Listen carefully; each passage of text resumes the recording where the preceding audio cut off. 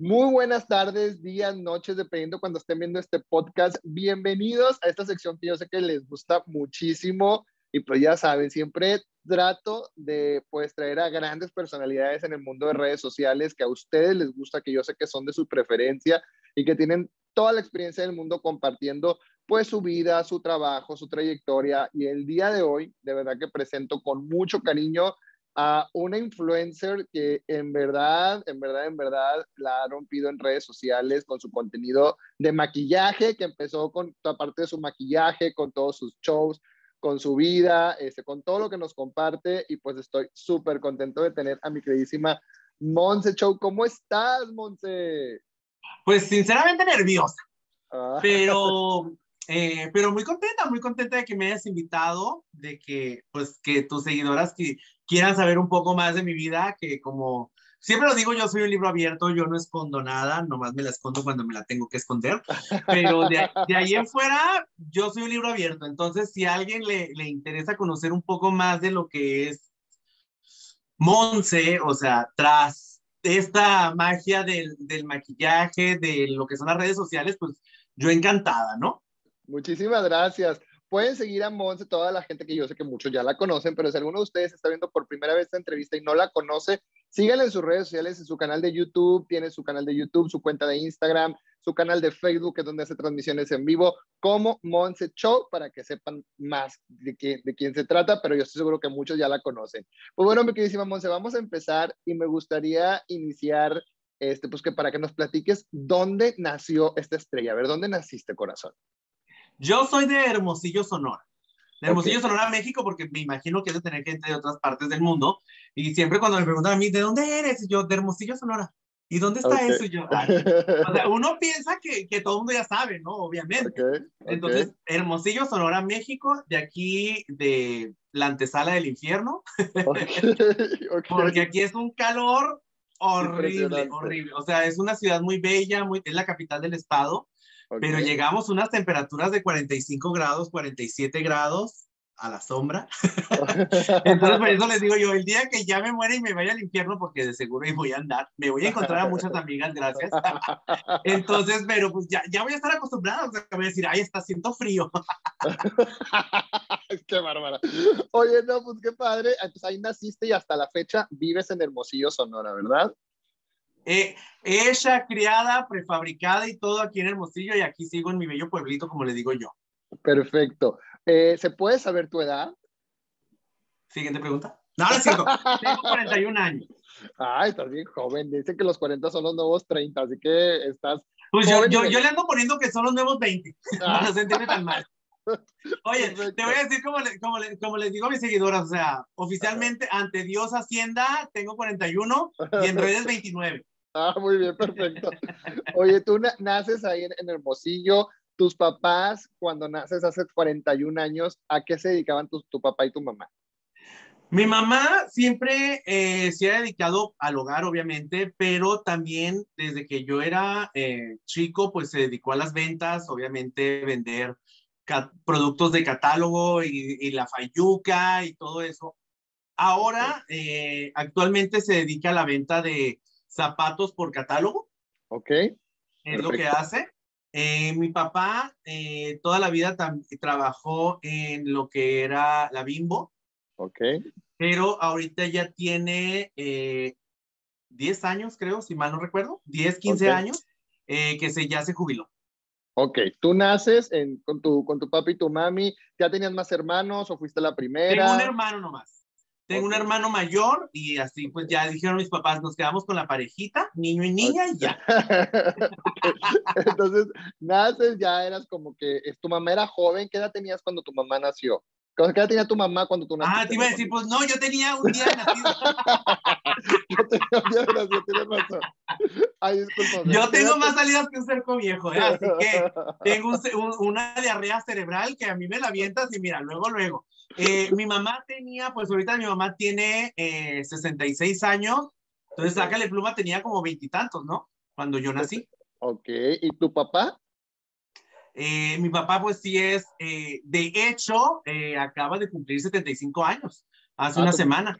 Cumplió 75 años. Ay, qué padre. Muchas felicidades para tu papá. Entonces, ¿es mayor que tu mamá como por ahí de que, que 10 este, años, 11 años más o menos? Más o menos, que pues obviamente en aquellos años se usaba más eso, que tenía que ser así como que mayor el, el, el, hombre o uno de los dos tenía que ser mayor, o sea, no se usaba tanto como ahora que casi de la misma edad, edad y todo eso, no, antes era, o sea, que hubiera una brecha de edad ahí medio marcada, era lo que se usaba antes.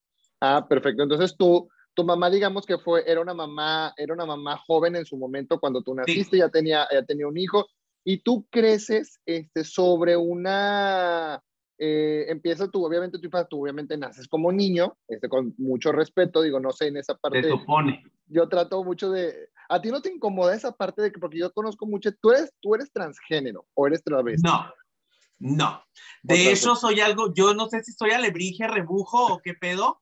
Eh, de hecho, el día de ayer, antier, no me acuerdo, estaba platicando con, con me mandaron un, un video de una persona que pues que toda la vida pensó que era trans y se operó todo y que ahorita ya no quiere ser trans y pues obviamente se hizo la vaginoplastia, entonces ya no se puede regresar a volver a ser hombre, ¿no? Claro, entonces yo me, me, me, pidieron que tocara ese tema con todas mis seguidoras y, y, yo, y yo siempre les he dicho, o sea, yo en una etapa de mi vida, cuando yo recién empecé, que empecé a hacer eh, show y todo eso, que yo te puedo decir algo, algo muy chistoso en mi vida, yo, yo empecé haciendo show entonces, eh, pero yo cuando no estaba haciendo show, yo decía que era así como más tipo drag queen. A mí me encantaba ponerme pelucas verdes, moradas, azules y nomás pezoneras y cosas así. Pero cuando yo empecé, volvemos ahorita a lo mismo que te mencionaba de la, de la brecha en, la edad, era como que estás haciendo show, tienes que ser trans.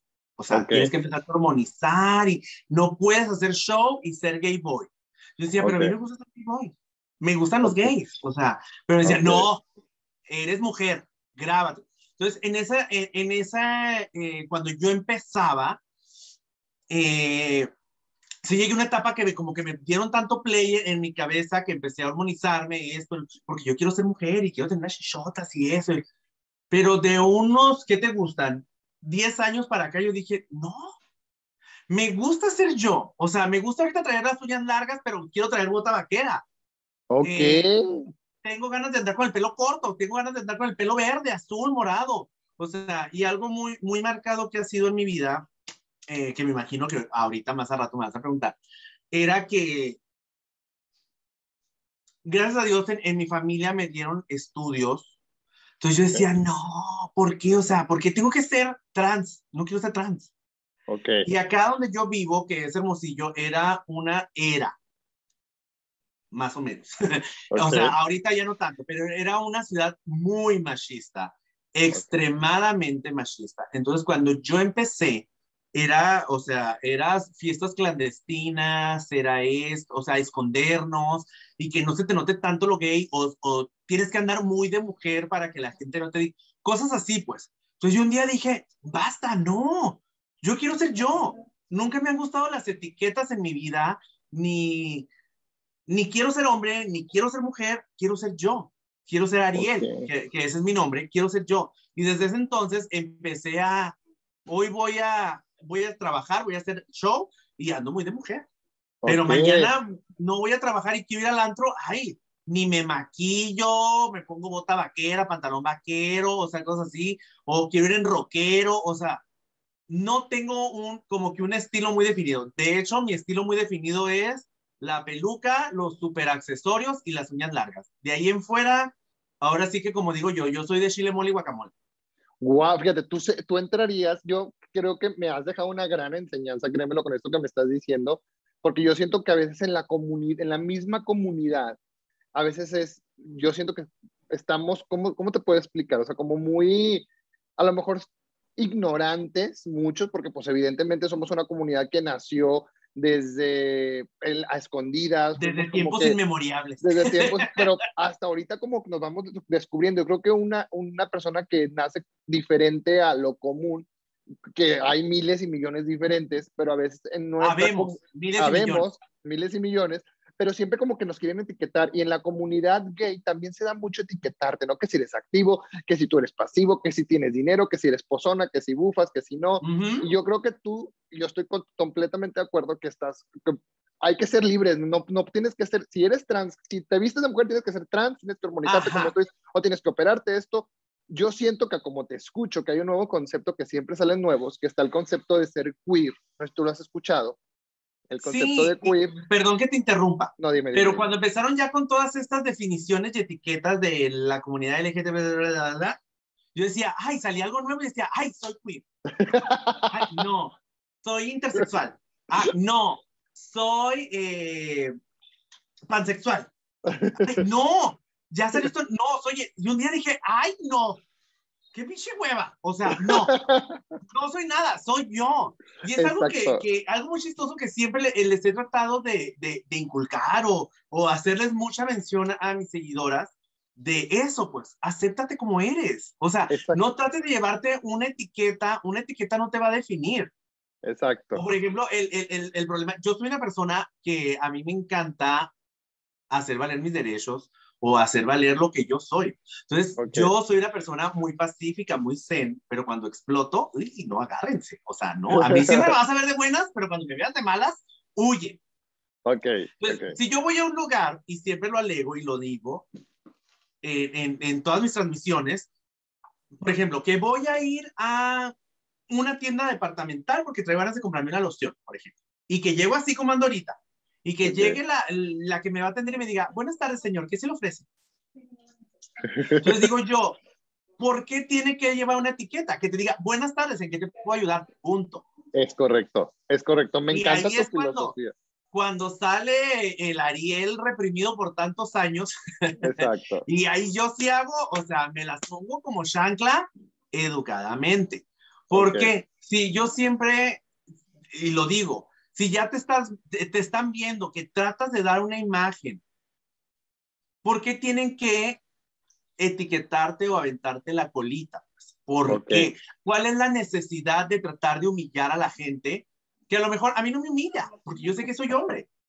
Pero pues si estás viendo que la una tardó tres horas maquillándose y peinándose y todo, que te andas con el mendigo dolor de, las joyas familiares que las traes escondidas. O sea, ¿para qué caballero? Señor.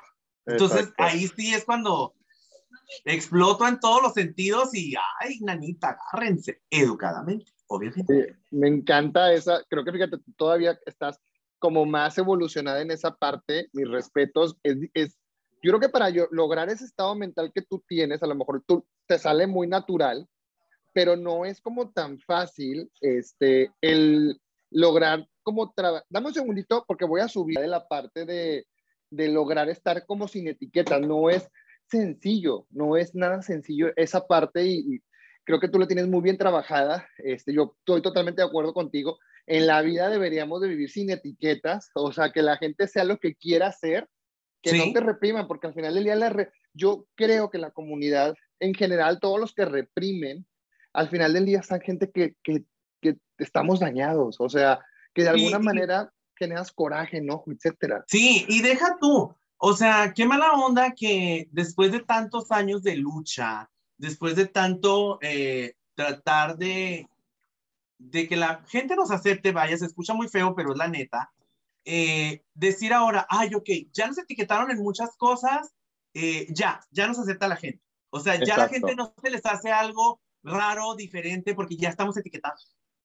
Exacto. Entonces, digo yo, eh, qué padre vivir ahorita, ser joven ahorita, porque tienen mucha abertura y está todo muy, muy, muy padre, muy libre, muy expresa, te haz lo que tú quieras. Pero también digo yo, todo lo que me tocó a mí vivir hace 20, 30 años atrás, o sea, es lo que me llevó a forjarme lo que soy ahora. Es y tener esa claridad, bueno, que yo digo que es claridad, ¿no? No va a faltar la persona que diga que no es cierto, pero esa claridad mental de no tener que basarme en una etiqueta. Yo no me dedico a disfrutar mi vida y que venga como venga. Exacto, tienes una madurez muy, no, no, no cualquiera, o sea, no cualquier persona de la comunidad la tiene y creo que de alguna manera, se, ahorita va a salir, quizás lo has trabajado de alguna forma, ahorita me lo vamos a dar cuenta, Este, oye, regresando un poquito a, tus inicios, naces como Ariel, ahorita ya no sabía si preguntarte tu nombre de, de pila de hombre, naces como Ariel, este... Que de hecho no es muy hombre que digamos el nombre. o sea, es como más. este... Cuando me preguntaban a mí de chiquito y todo, o sea, yo cuando salió la película de La Sirenita, yo fui la persona más feliz del mundo. Porque dije, yo sí es mujer. O sea, mi nombre es femenino. Dije, mi mamá y mi papá sabían qué pedo con mi vida. O sea, desde que nací me olieron y supieron y me pusieron el nombre más andrógino del mundo. Entonces, cuando me ah. decían a mí, de, cuando estaba más chico, que me decían, ¿y cómo te llamas? Ariel. ¿Cómo? Como la sirenita decía. Y así mis papás ponían un carón de yo, así se llama ni modo. Veían legales a los de Disney, no a mí. Oye, naces como Ariel. Por eso es que, de hecho, a mí me hubiera encantado haberme dejado Ariel. Pero cuando yo empecé, que obviamente como todo mundo empezamos, que nos estamos escondiendo en un inicio, pues yo decía, si me pongo Ariel, me van, van a saber que soy yo en mi casa. Ok. Entonces fue de ahí como salió el nombre pero que ya también ahorita si me lo trato de cambiar, pues ya van a decir, ay, Monse, por más que le ponga Ariel, pues no. Exacto, exacto. Oye, entonces naces tú, ¿cómo fueron tus primeros cinco años este, que tú recuerdes? O sea, tú fuiste un, un porque hay, hay niños este, gays que se les nota mucho y hay niños que no se les nota. ¿Tú cómo Siempre se me nota. Siempre se te notó, desde chiquito. Siempre, se me, siempre, es muy, bueno, es muy chistoso esto de niño era muy afeminado. Yo ahorita siempre digo, yo soy la travesti menos femenina que hay en el mundo. Todo el mundo me dice, es que eres muy femenina, Monte. Le digo, las uñas no es feminidad. O sea, si me vieras ahorita estoy sentada aquí con las piernas abiertas. o sea, y estoy en, en, en el antro en, donde trabajo, esto y el otro, y me dicen, o sea, llegan mis amigos y me dicen, Monse, las piernas siéntate como señorita. Y yo, ay, no, qué hueva. O sea, no soy mujer, se me nota legua. ¿Para qué quiero fingir algo que no soy? Entonces, yo siempre lo digo que soy la travesti o la trans o como todo el mundo me diga, menos femenina que hay en el mundo. Ok. Y desde chiquito se te notaba, entonces desde chiquito sí se te notaba. Sí, no, de chiquito era una, una hada. Okay. ¿Y tu mamá cómo tomaba? Porque todos cuando estamos chiquitos, pues nuestros papás tratan como de corregirnos a la mayoría y de... más en mis años. Y más en nuestros años, sí, porque yo también por ahí andamos en los mismos años, entonces... O sea, no dijiste cuántos, pero por ahí andas. Yo tengo 35, pero este, pues nos, me tocó también una etapa muy difícil, entonces era donde el papá, por más que te quisiera, porque yo vengo de dos papás muy buenos, pero siempre la manita, esto, el otro, y no hables así, y que y como que te trataban de ellos en su mente corregir. ¿Cómo te fue a ti en esta situación con tus papás? Eh, mira, yo te puedo decir ahorita que tuve una niñez muy bonita, Sí, obviamente mi casa se la, siempre he sido muy amiguero, siempre, siempre de toda la vida. Y mi hermano es igual que yo. Obviamente él no es gay, tiene esposa, hijos y todo. Pero mi casa siempre se la llevaba llena de mis amigas y los amigos de mi hermano. Ok. Siempre mi casa estaba llena. Entonces, en mi familia, pero bien chistoso, siempre tuve novias. Obviamente, oh. cuando uno está en la primaria, pues tú dices, ay, es mi novia, y nomás es de manita sudada y ya. Ok. O sea, no andas pensando que en el beso, el arrumaco, el, el restregón, ni nada de eso. Pero yo siempre tuve novias. Y si me preguntas ahorita, pero novias, ¿por qué? Pues yo no sé ni por qué chingados. Pero yo siempre tuve novias. y siempre era la más bonita de la escuela o la más simpática. Siempre tuve novias pero nunca pasó de ahí, o sea, eh, eh, en vez de yo querer que se viera bonita ella, yo la quería poner bonita. Oh, y eso te ayudaba a despistar un poquito a tus papás con tu, con tu preferencia. Pues de hecho no. Eh, sí hubo una etapa en mi vida, mi, mi, familia siempre me ha apoyado en todo. Wow. Yo fui una, bueno, mi hermano y yo siempre fuimos unas personas muy estudiosas, siempre primeros lugares, o sea, entonces me dedicaba más a estudiar que, que otra cosa. Pero algo muy chistoso era, mi hermano sí era matado y 24/7 estudiando esto y el otro, pero él era muy deportista hasta la fecha. Y yo no, yo no estudiaba, tengo buena retención, entonces nunca estudié. Lo, Siempre los maestros así como que querían chingarme, eh, pero yo siempre ponía mucha atención. Ok. Entonces, así como que, y, pero siempre fui muy amiguero, siempre hablaba en clase, siempre pachanga, o sea, yo era viernes, sábado, domingo me la pasaba de fiesta, esto y el otro, pero el lunes, o sea, yo llegaba a la escuela, hacía mi tarea y vámonos a, a la calle. Ok, ok. Los maestros, como siempre me la llevaba platicando, hablando en, el, en el salón, los maestros me querían fregar y me preguntaban algo y yo siempre contestaba. okay. Y otra cosa, siempre que decían algo los maestros, yo siempre preguntaba. Yo nunca me quedo con ninguna duda de nada. Entonces a los maestros yo los tenía hartos. Pero lo que no sabían los maestros es que cuando yo les preguntaba, casi siempre eran preguntas que iban a venir en los exámenes. pues. O sea, yo como que me las olía y decía, ay, eso es importante, órale. Y le preguntaba, y hasta que no me quedaba claro, le dejaba al maestro en paz. Ok. Entonces, para cuando era el examen, pues ya.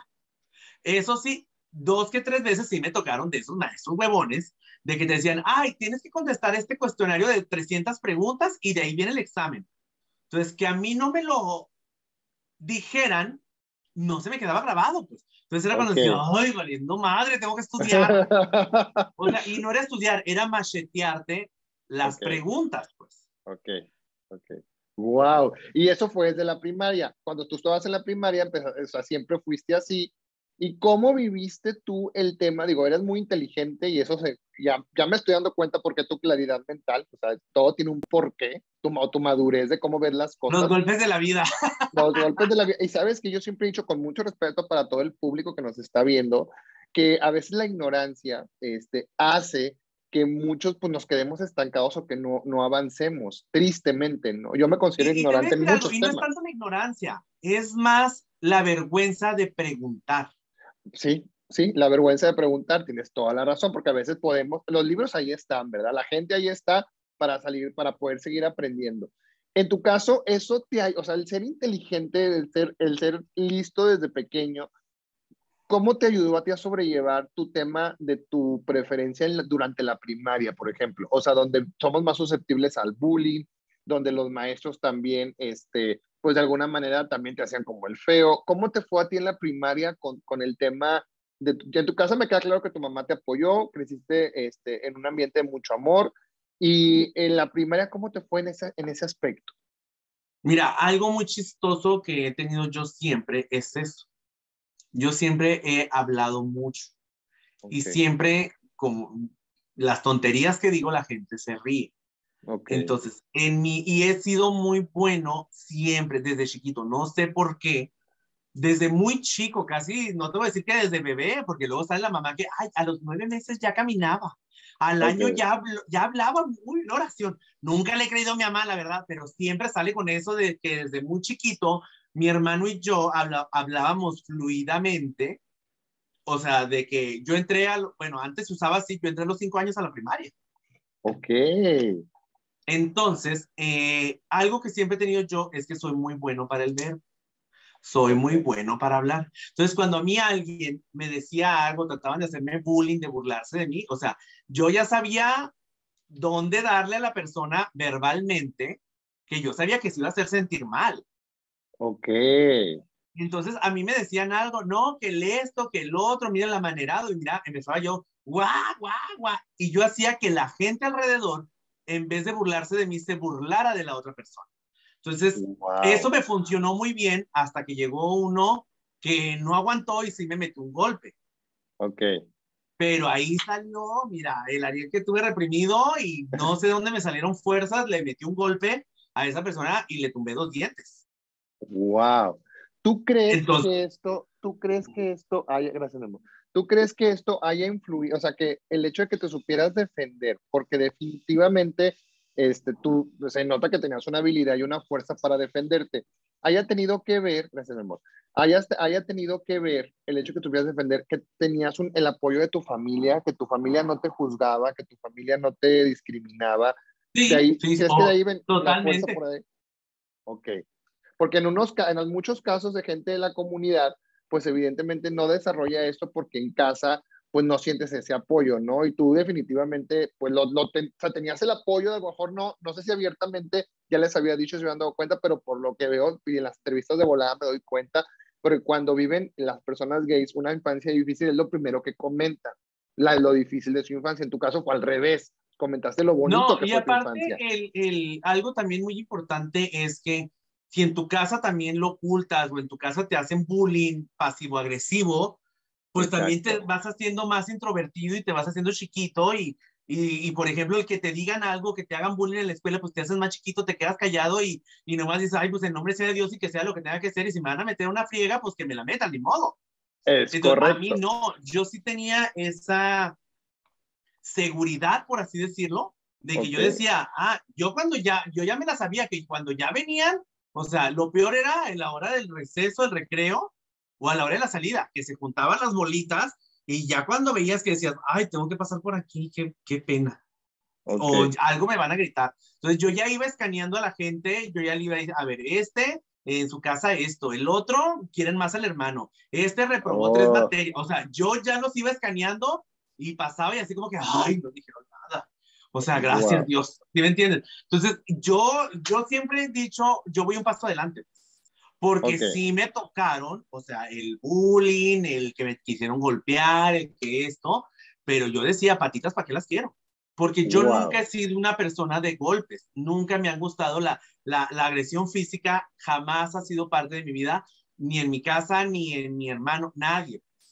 Ok.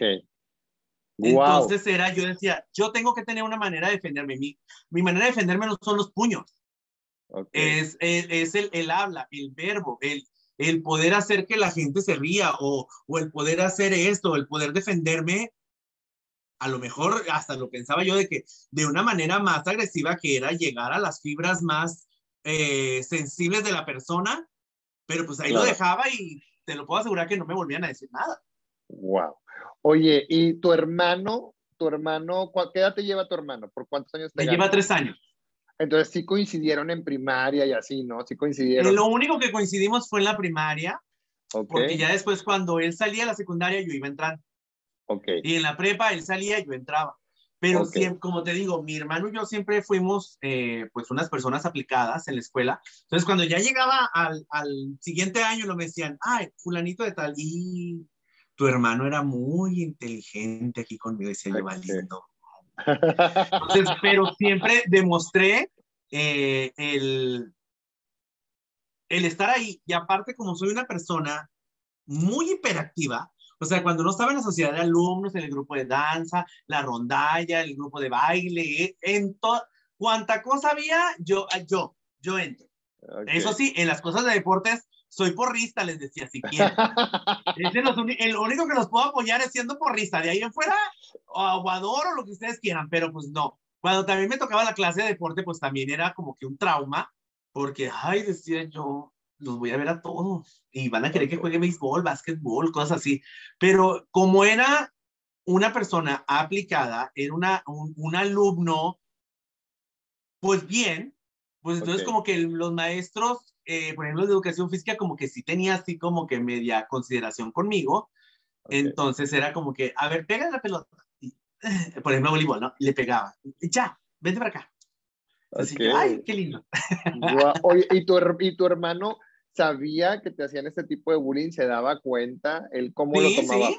¿Te defendía o, eh, o te, Sí, o no me defendía, nada? pero como él ya sabía que yo me podía defender solo, pues era como okay. que bueno, saca a tu hombre que llevas dentro de esa manera, ¿no? Ok.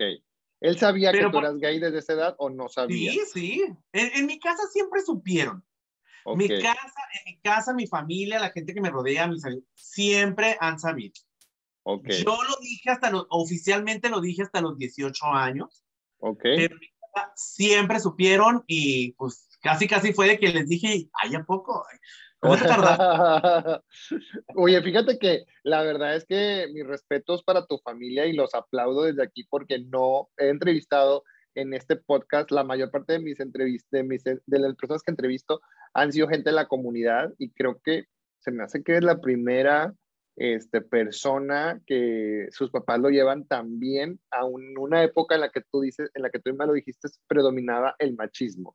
Entonces, qué padre, fuiste bendecida, definitivamente, porque no, no, cual, no, to, no muchos les tocó esa suerte que a ti te tocó.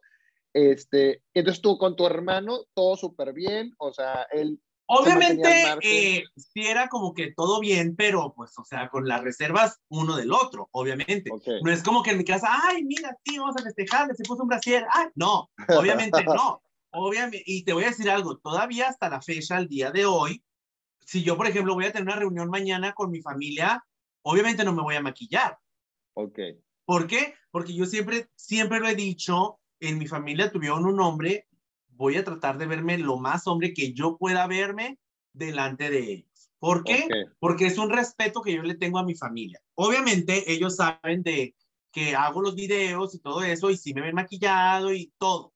Pero cuando, por ejemplo, con mis sobrinos, nunca me han visto maquillado. Saben que el tío es influencer, saben que el tío hace videos, pero nunca me han visto. Y, y eh, me dice mi hermano, es que tienen que ir viéndote. Me dice, para que vayan digiriéndolo y que sea algo, pues no tan difícil. Les digo, es que no tienen por qué verme. O sea, ellos saben que vivo con, con otro hombre, que tenemos nuestra casa, entran aquí porque tengo mi estudio, ven las zapatillas, ven pelucas, me han visto cuando estoy decorando mis vestuarios y me dicen, ¿y eso qué es, tío? Ah, es un traje para un show. Ok. Ah, okay. A mí lo que me preguntan, yo les contesto. Ok. Okay. O sea, no porque me pregunten, una, en una ocasión uno de mis sobrinos me preguntó que si por qué tenía el pelo como niña, o sea, largo. Entonces yo les dije, ok, yo tengo mi salón de belleza. Entonces eh, yo le dije, bueno, ¿sí te acuerdas que, de qué trabajo? Sí, me cortas el pelo. Ok, soy estilista, ¿verdad? Sí. ¿Tu papá en qué trabaja? En una oficina. Y él se pone traje para ir a tu trabajo, ¿verdad? Sí. Ah, yo tengo que traer el pelo largo, pintarme el pelo porque es lo que les vendo a mis clientas. Ok. Y así como que, ay, sí, cierto, tío. Entonces, yo no voy a ponerme, ay, es que mira, traigo el pelo largo porque hago show, me creo mujer, me, me gusta verme bonita, que me agarren del pelo y me jalan. Eh, entonces, yo siempre he dicho, a preguntas concretas, respuestas concretas. y le digo a mi hermano, el día que ellos me pregunten, por ejemplo, siempre me han visto con mis uñas largas y nunca okay. me han preguntado. ¿Por okay. qué? Porque obviamente los niños ya saben qué ondas, pues. Pero el día que me pregunten, si me preguntan, ¿por qué traes las uñas largas? ¿O por qué te vistes de mujer? ¿O por qué esto? ¿Por qué el otro? Les voy a contestar. Muchas, wow. En muchas ocasiones hemos andado en la calle que vamos a comer o al cine o lo que tú quieras y llegan eh, seguidoras mías y me dicen, Monse, una foto. Y hasta yo les digo, para la foto. Y se ponen los niños. Pues. Ok. Y es que, ¿sabes qué, Monse? Creo que también los niños ya ahorita ya no etiquetan. Ah, yo creo que no. etiquetamos más nosotros. Ellos viven ya como que para ellos, ya con TikTok, con toda la revolución de lo que ven ahorita, ya su mente está más evolucionada. O sea, sí, ya, ya están a 20 años luz de nosotros. Exacto. Yo creo que etiquetamos más nosotros, que, son, que somos de, de la comunidad, que ellos, la verdad. Sí, de este, hecho, oye, sí. Pues qué padre que te fue súper bien con tu hermano, este, con tu familia. En la parte, voy a empezar con un, voy a tocar un tema este, importante también, que es la parte del amor. Tú me platicabas que tuviste novias, ¿verdad? Este, uh -huh. tus, que, ¿Te enamoraste de alguna de ellas? O, porque el amor a veces es más que, o sea, más, va más allá que la parte íntima, ¿no? ¿Tú te, te llegaste a enamorar de alguna de ellas o siempre fue como que nada más como por, por andar o como, cómo se dio esto de las novias? Platícame. Mira, eh, en aquellos años te puedo decir que sí estaba perdidamente enamorada, hasta me enamoré de una de mis maestras que sufrí por ella porque pasé a, al siguiente año. Eh, sí. y, y, lo chistoso es que esa maestra después se hizo mi clienta en el salón. Wow. Entonces, en, en, esos años te puedo decir, sí, ay, estaba perdidamente enamorada. Ahorita okay. que ya entiendo lo que es el amor, lo que conlleva todo eso, pues obviamente digo, pues era, era lo que ahora se le llama mi maps, mi mejor amiga, era lo okay. que eran ellas. Pues. Más que okay. ser eh, como que el amor de mi vida y me voy a cortar las venas cuando terminamos, obviamente no, pues. Ok, y este, las besabas, tenía lo que se le conocía como los fajes y todo eso. No, ¿sí era la primaria. Ah, era la primaria. Y en la secundaria sí, no tuviste Ya sea, en la secundaria ya traía la hormona todo lo que daba, ya no tenía novias. Desde la primaria fueron las novias, nada más era besitos de piquito o ni besitos de piquito. Sí, ya, y vámonos agarraditos de la mano a la casa, punto. Porque ah, vivía cerca okay. de mi casa. Y ellas, tus novias, este, se daban cuenta cuando te decían cosas por, por tu sexualidad, o sea, se llegaron a sí, dar cuenta. cuenta. Sí, me defendían y todo, pues. Y ahora sí, que, sí. que la sigo viendo, porque seguimos siendo amigas, como que ahora amigas, primero novios y ahora amigas. me decían, o sea, qué gacha, o sea, porque nos decían, güey, les digo, o sea, ni yo sabía qué pedo con mi vida. Ok, oye, qué chistoso, nunca había escuchado que fueron novias y luego son amigas. O sea, ¡Ay, claro! oye, pasas a la secundaria como tú dices, traes la hormona todo lo que da. Este, ¿Cómo te fue en la secundaria, por cierto? ¿Te fue mejor en la secundaria o en la primaria? ¿Dónde, cómo, cómo fue la secundaria para ti con el tema de tu sexualidad? Pues fue, ¿cómo te puedo decir? Diferente. Fue el, el, el empezar a, a, a, conocerte, a autoexplorarte. Okay. El, el, el, saber, el, el, conocer, ¿cómo se puede decir? El conocer que ya tus amiguitos ya andan con, también con la hormona todo lo que dan.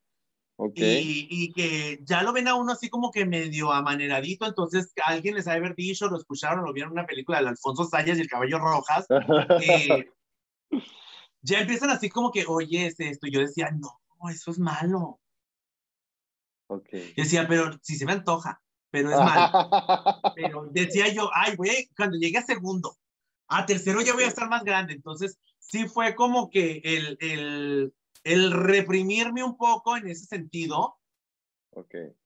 Siempre he tenido así como que, ¿cómo se puede decir? O sea, el, ay, hasta que cumple 18 años, porque eso me enseñaron. Así era. Como, como las de antes, no se cuenta. como las de antes, y que me sa- salí de blanco de la casa, si no, no. Y ahorita, o sea, que me pongo a platicar con amigos míos y que, no, que desde la primaria y ya, y decía yo, ay, qué degeneradas, o sea, qué adelantadas, pero decía yo, pues también como perdí tiempo, también qué pendeja. Pero pues disfruté mucho mi, mi infancia, mi, mi adolescencia, o sea, si era de irme, ay, vámonos al cine con mis amigas, vámonos que al lugarcito nuevo que acaban de poner, era eh, irnos de viaje, irme con mi familia, o sea, y también en, en mi caso, en, por parte de mi mamá y de mi papá, mi hermano y yo somos los mayores de los Ok. nietos. Entonces siempre era así como que compórtate porque lo que tú hagas, tus primos lo van a hacer. Y Ok. tienes que poner el ejemplo. Entonces sí, sí fue así como que muy, ay, tenemos que portarnos bien, tenemos que hacer las cosas bien porque mis primos, ¿sí me entiendes? Ok. Entonces en secundaria, y en secundaria mantuviste mucho como esa parte, esta, a lo que entiendo estabas como que entre la espada y la pared, ¿no? Por una parte, lo, tu, tu naturaleza que ya quería salir, y por otra parte lo que te decía la sociedad. ¿Te enamoraste? ¿Te enamoraste en- de alguien en la secundaria? Desde la primaria. O sea, desde la primaria yo ya, yo ya, ya me gustaba un amiguito. Ok. Entonces, y más que mi amiguito era así como que la cosa más linda del mundo conmigo, entonces yo decía, ay, sí es amor, pero tengo novio. Ok, pero no pasó nada, no te correspondió. Eh, ay, pues, ¿qué te puedo decir? O sea, no hubo nada, nada, pero sí era, era como que, o sea, todo el mundo le decía cosas, pero él era así como que la persona más linda del mundo. Ok. Y en la secundaria así como que se hizo más lindo, o sea, me hice más gay, más afeminado, y así como que se hizo como que más lindo, decía yo, no sé si le gusta la fregadera. O nunca, con él nunca te llegaste a dar un beso ni nada. ¿Tengo que contestar eso? Ay, no es cierto. Ya hasta tercero. Yo te dije ahorita, hasta tercero va a haber algo. o sea, en tercero de secundaria con él. No, no más él. Tenía que probar. o sea, pero fíjate, con él desde la primaria te seguía y hasta te- y en ay, qué, qué- oye, mucha gente tuvo tanta suerte, yo no tuve nada de suerte en el amor nunca. Oye, Pues es que no han de haber sido atrevido, pues. A lo mejor, yo hasta ya después de los 23 años fue cuando me llegó la suerte, pero yo en la primaria sí, yo creo que no era atrevido. ¿A los Quizás fue 23? eso. Hasta los 23, yo tuve mi primer Ay, no, ya me quiero imaginar los callos que has de traer en la mano. No, ya te imaginarás. No, pero si te platicara. Oye, entonces, hasta, bueno, hasta los 23 el primer amor, pero desde los 18 ya, ya andaba ahí como que Ah, probando ok. cosas, Ah, ¿verdad? bueno. Está Pero, bien. por ejemplo, en tu caso en la secundaria, o sea, en tercero, este chavo se dio, ¿cómo fue con él? Me llama mucho la atención particularmente él, porque te venía siguiendo, ¿verdad? Te venía siguiendo. ¿Cómo se da el momento en el que te haces ese besito con él? Quien te- tú le dices, él te dice, ¿cómo fue? Fue algo muy chistoso porque estábamos eh, limpia- en el recreo, en el receso, nos ponían a limpiar el salón. O sea, Ajá. nos tocaba así como que iba cambiando, no era rotativo. Entonces, en esa ocasión nos tocó a él y a mí limpiar el salón. ¿Ok? Entonces, cuando nos pusimos a limpiar el salón, o sea, todo transcurría normal, o sea, jamás pensé, o sea, casi, casi, te- como dicen ahora, ¿no? Me hubiera puesto mis calzones buenos. O sea, no me hubiera comido la, la torta con harta cebolla y todo. Estábamos ahí y, y nos pusimos a limpiar el salón y todo. Y en eso yo, yo me senté a ver. a, ver a la gente afuera, pues. ¿Por qué? Porque en mi secundaria era de tres pisos y luego pues era abajo la, el recreo, ¿no? Entonces estábamos en el tercer piso, o sea, obviamente no se miraba nada. Entonces yo me puse a ver y me dijo, ¿no vas a salir? Yo le dije, pues no. Me dijo, ¿por qué? Ay, qué hueva, le dije. Mejor prefiero estar aquí contigo. De esos, de, o sea, yo soy una persona de que actúo, no la pienso. Yo siempre voy por el no. Eh, la gente siempre dice, ve por el sí. No, yo voy por el no. ok. Ya te dicen que sí, ya chingaste. Ok, pues es muy buena estrategia. Sí, pues entonces, si vas por el no, si te dicen no, pues ya no te deprimes porque ya no traías en tu mente que iba a ser no. Tienes toda la razón. Entonces, yo, yo soy una persona muy objetiva. Entonces yo le dije, pues, ay, pues a ver, dije, ¿qué pedo? Porque sí me la estaba pasando muy a gusto con él. Y en esos días, esa semana, habíamos tenido así como que ciertas, no insinuaciones, no sé cómo se le puede decir, pero habíamos tenido como ciertos roces. Coqueteo. Coqueteo, roces, así como que estaba yo con la maestra en el escritorio y pasaba y así como que medio me rozaba así la nalga. ¡Ay, qué rico! Y yo, ya yo ya sentía, dije, ya, mañana voy a amanecer embarazada. Puberta al fin y al cabo. Entonces, cuando, cuando ya pasó eso, que le dije, no, pues estoy mejor aquí contigo, le dije, ¿para qué quiero salir? Ay, me dijo, yo también, qué padre, ¿no? Y yo sí. Y se sentó enseguida de mí y empezamos a platicar y, así, literal, película romántica de sí que va cerrando los ojos y se va acercando. O sea, cuando menos yo pensé, ya nos estábamos besando. ¡Ay, qué padre! ¿Y qué sentiste? De hecho, no, porque empezaron a reaccionar partes de mi cuerpo que, que ya reaccionaban desde hace rato, pero reaccionaron más y dije yo, ¡qué vergüenza! Y él también, obviamente. Ah, no, sí. Entonces, de ahí fue como que, ¿qué te puedo decir? Como que tuvimos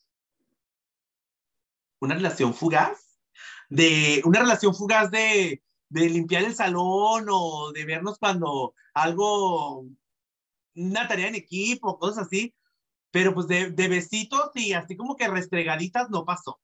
Ah, ok, con él no pasó nada más. Y él, digo, muchas veces, particularmente cuando me platican esas historias, ellos ya tienen su vida heterosexual después. Con él pasó lo mismo, o sea, se casó y todo, o sí fue gay. No, sí se casó. Estaba pensando que, que, contestaba, capaz que no se está viendo. no, sí se casó y todo, y seguimos siendo amigos. No manches, nosotros somos de todos. De todos. Es lo que te digo, o sea, gracias a Dios, a mí me, han preguntado mucho, ay, ¿cuál es el don que tienes? Y yo, ay, pues quiero ser doctor. No, no, eso no es un don. Quiero ser, ay, no.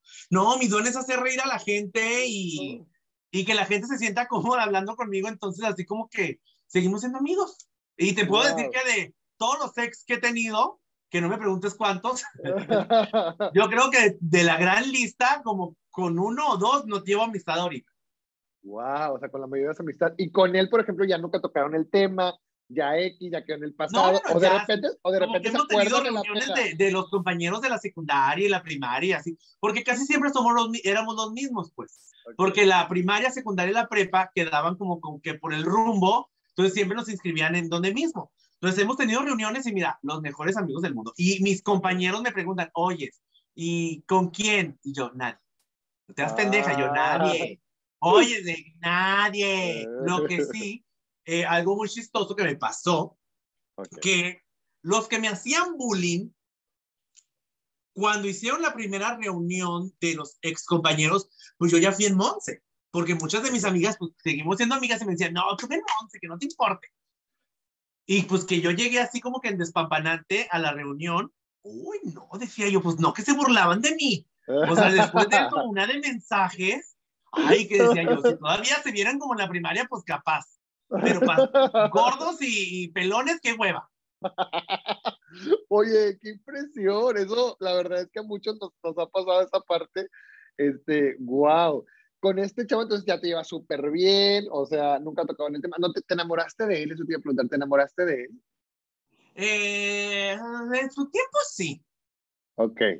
Porque luego era de que estabas pensando en él todo el tiempo, si te pasó esas mariposas. Ah, no, sí, y si no llegaba a la hora que llegaba a la escuela, yo, ay, yo ya me estresaba y me preocupaba, ¿qué le pasó? Y cosas así, pues, cosas pendejas de chamaco, pendejo, la neta. Ok, ok, perfecto. Y tuviste, por lo que entiendo, en, ese, en esa etapa tuya, pues más probaste a más. O sea, fue como tu etapa en la que estabas descubriendo. Sí, no, y por lo visto también muchos de mis compañeros andaban descubriendo. sí, es que fíjate, mucha gente, yo creo que muchos hombres, a lo mejor mujeres, pero obviamente pues no, no, no, no tengo la oportunidad de platicar tanto con lesbianas, no tengo casi amigas lesbianas, pero por lo general tengo, la gente gay que conozco tuvo muchas experiencias con hombres que a lo mejor estaban en su descubrimiento que ya de grande tomaron el camino de heterosexuales, ¿verdad? Este, sí, o que, estaban descubriendo y decían, bueno, este no me va a decir que no, una morra a lo mejor sí, pero este no. Pero todavía en ese entonces me daba mi paquete y yo decía, ay, no está muy feo este huevo.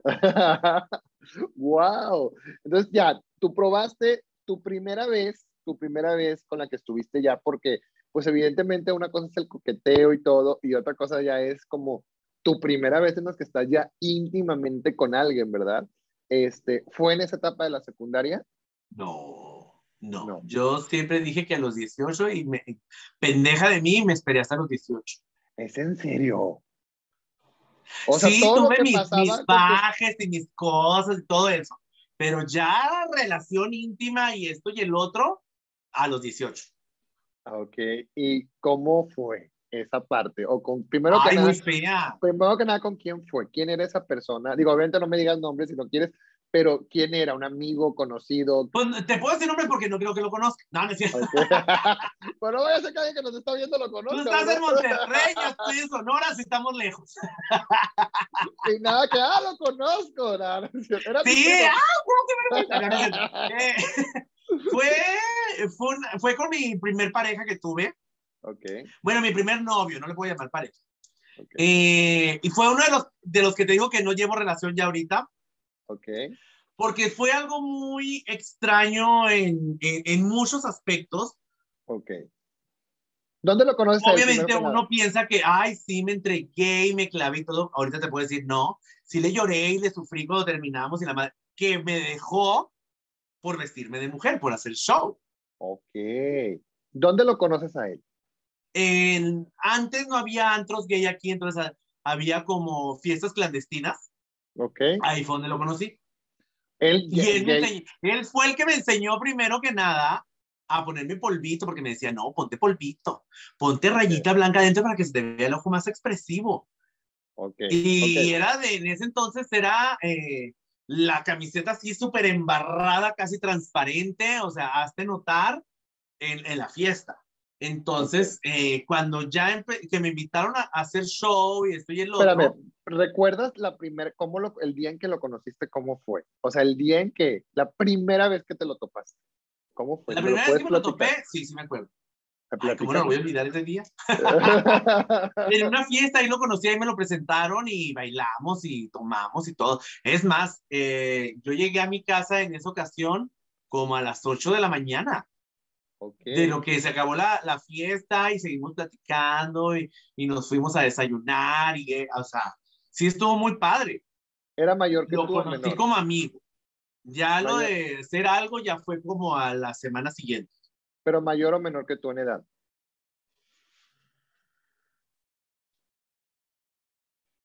No me acuerdo, según yo, era mayor. Como un año, meses, cosas así. casi de la edad. Sí, casi de la edad. que desde que tú lo viste, ¿te gustó o, o, se fue dando? O sea, tú cuando lo viste dices, no manches, me gustó su plática. ¿O cómo, cómo, cómo te das cuenta si, cuando te empieza a gustar él? ¿O cómo fue? Eh, me cayó bien como persona. Eh, en, en, en, en, aquellos años, dijera un amigo mío, Pablo le dijo a Pedro, no, no es cierto. Eh, en, aquellos años, yo tenía así como que el. Ay, ¿cómo se puede decir? El. El mal o, o, o tenía el, el complejo no voy a decir complejo de Edipo ni nada de eso, pero no, no recuerdo cómo se llama, que era el, el que yo quiero salvar a, a, la persona, quiero apoyarlo, quiero ayudarlo, una persona en, en tragedia. Tenía como que esa, esa misión en mi vida, según yo. O sea, yo veía a alguien en problema y ay, yo lo tengo que ayudar. Ok. O sea, me gusta ayudar a la gente, lo tengo que ayudar. Pero pues sí, al, al, al tener e, ese problema en mi vida, me metí en cada pinche pedo que para qué te cuento, o sea, me llegaba puro mendigo caso que decía yo, bueno, que porque eres tan pinche masoquista, Monse, decía yo, o sea, no, no le vas a resolver la vida a todo mundo. Entonces, él sí venía como que de una, familia disfuncional y sus problemas y esto. Entonces yo decía, ay, no, me necesito. Fue lo, fue lo primero que te platicó él cuando te conoció. O sea, fue lo primero que te contó. Pues platicamos muchas cosas, como te digo, como hasta la semana, o sea, toda la semana nos estuvimos viendo. Okay. Y, y, y sí fue así que nos compartimos varias cosas y yo decía, ay, pobrecito, necesita a alguien. Ok. ¿Y cómo... Ay, si me estás viendo no es cierto. ¿Cómo fue que, tú te das cuenta que te gustaba? O sea, ¿cómo fue? O literal anduviste con él por, por ayudarlo, o sea, como por un No, tema no, no, de... sí me gustaba mucho, sí me gustaba, gustaba? mucho y creo yo que yo también le gustaba. Ok. Espero.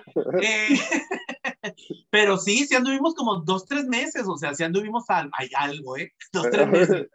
Eh, Pero él sí te- él te- anduvimos, Él te dijo, ¿quieres andar conmigo? Co- ¿O cómo se da esa parte de vamos a andar? De hecho, fue algo muy chistoso. Antes de, cuando nos conocimos, eh, esa persona y yo, en esa fiesta que nos, no, a la siguiente fiesta, no me acuerdo cómo estuvo, pero yo venía de andar como que, ah, no, en la siguiente fiesta fue.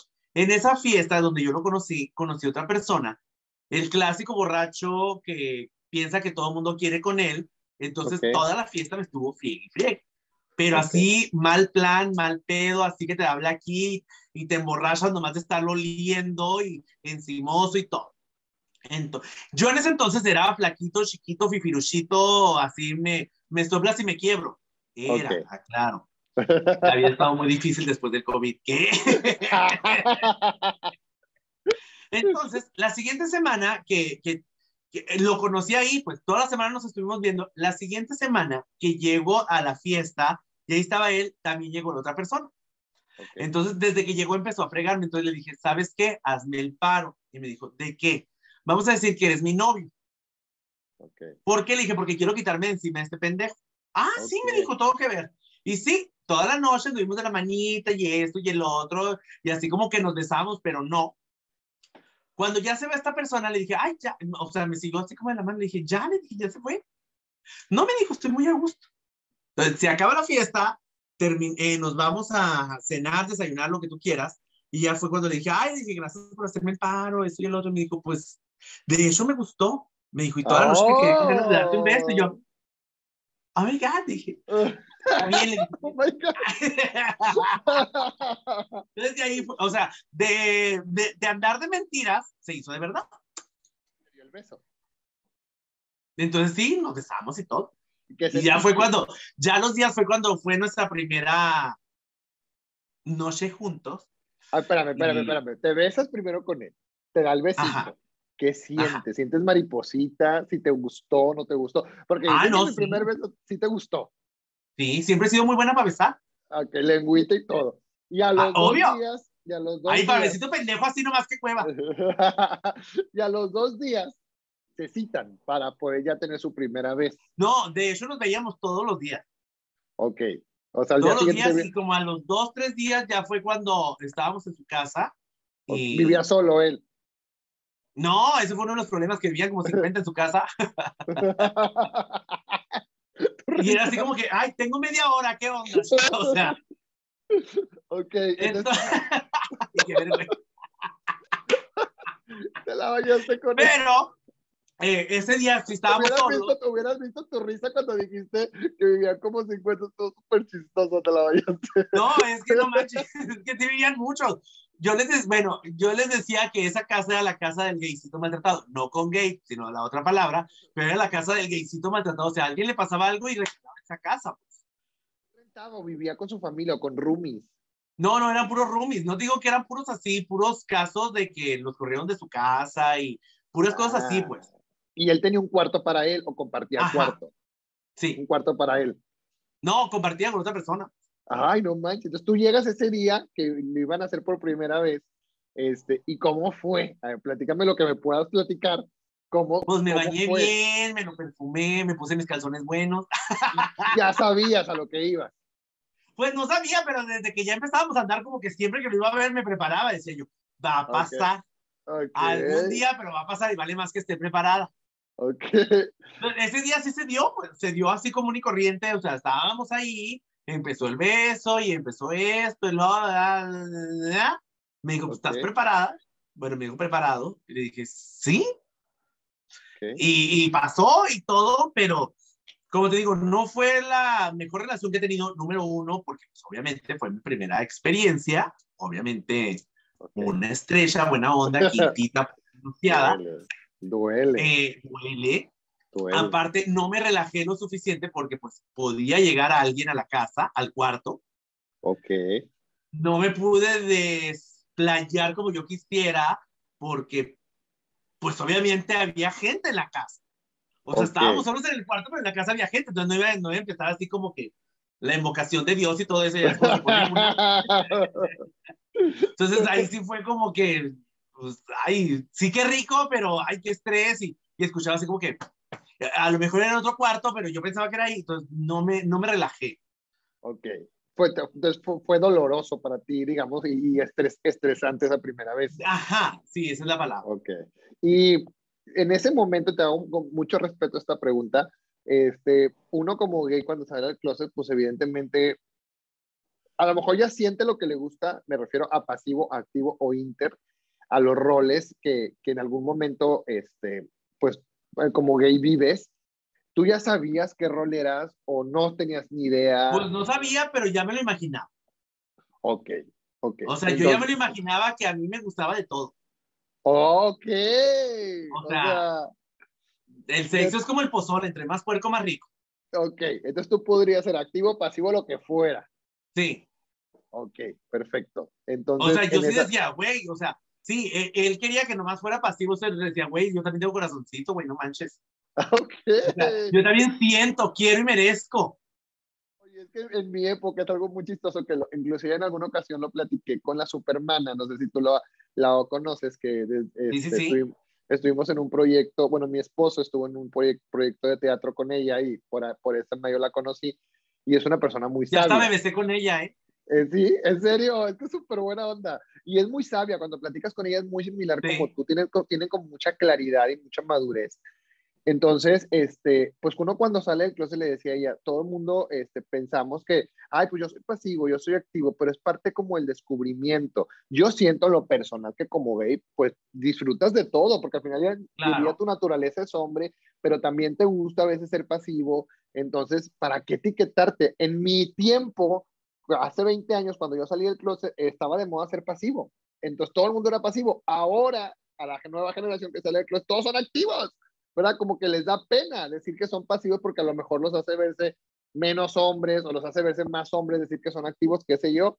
Pero fíjate qué padre que desde ese momento que tú saliste del closet también hace veintitantos años, ya tenías claro dejarte fluir. O sea, de que... No, sí, o sea, yo siempre, qué feo me voy a quemar, pero yo siempre he sido muy caliente. Pues. Ok. Entonces yo sabía que tenía que explorar todo. Ok. Y con él lo exploraste todo. Sí te tocó, sí te tocó desde esa Pues primera más vez o menos, también todo. fue una de las razones por las cuales terminamos. Ok. Él nada más quería hacer un rol y que tú fueras un rol. O sea, era cuando a él se le antojaba y, y sus dramas, o sea, lo que en un principio así como que, ay, lo quiero cuidar, papá. ya fue un momento de, güey, ya. O sea, ya Ok. supéralo. O sea, ya, ya platicamos, ya, ya supéralo, güey, ya, ya me tienes a mí. ¡Qué ya no te chistosa amor, güey, ya me tienes, ya. Ya no estás solo en la vida, ya me tienes. O sea, sí. Entonces, no, seguía con sus y, ah, sí, es cierto, tengo que aceptarlo, él me cortó a mí. Por, porque en ese entonces, pues todavía no, no me vestía de mujer.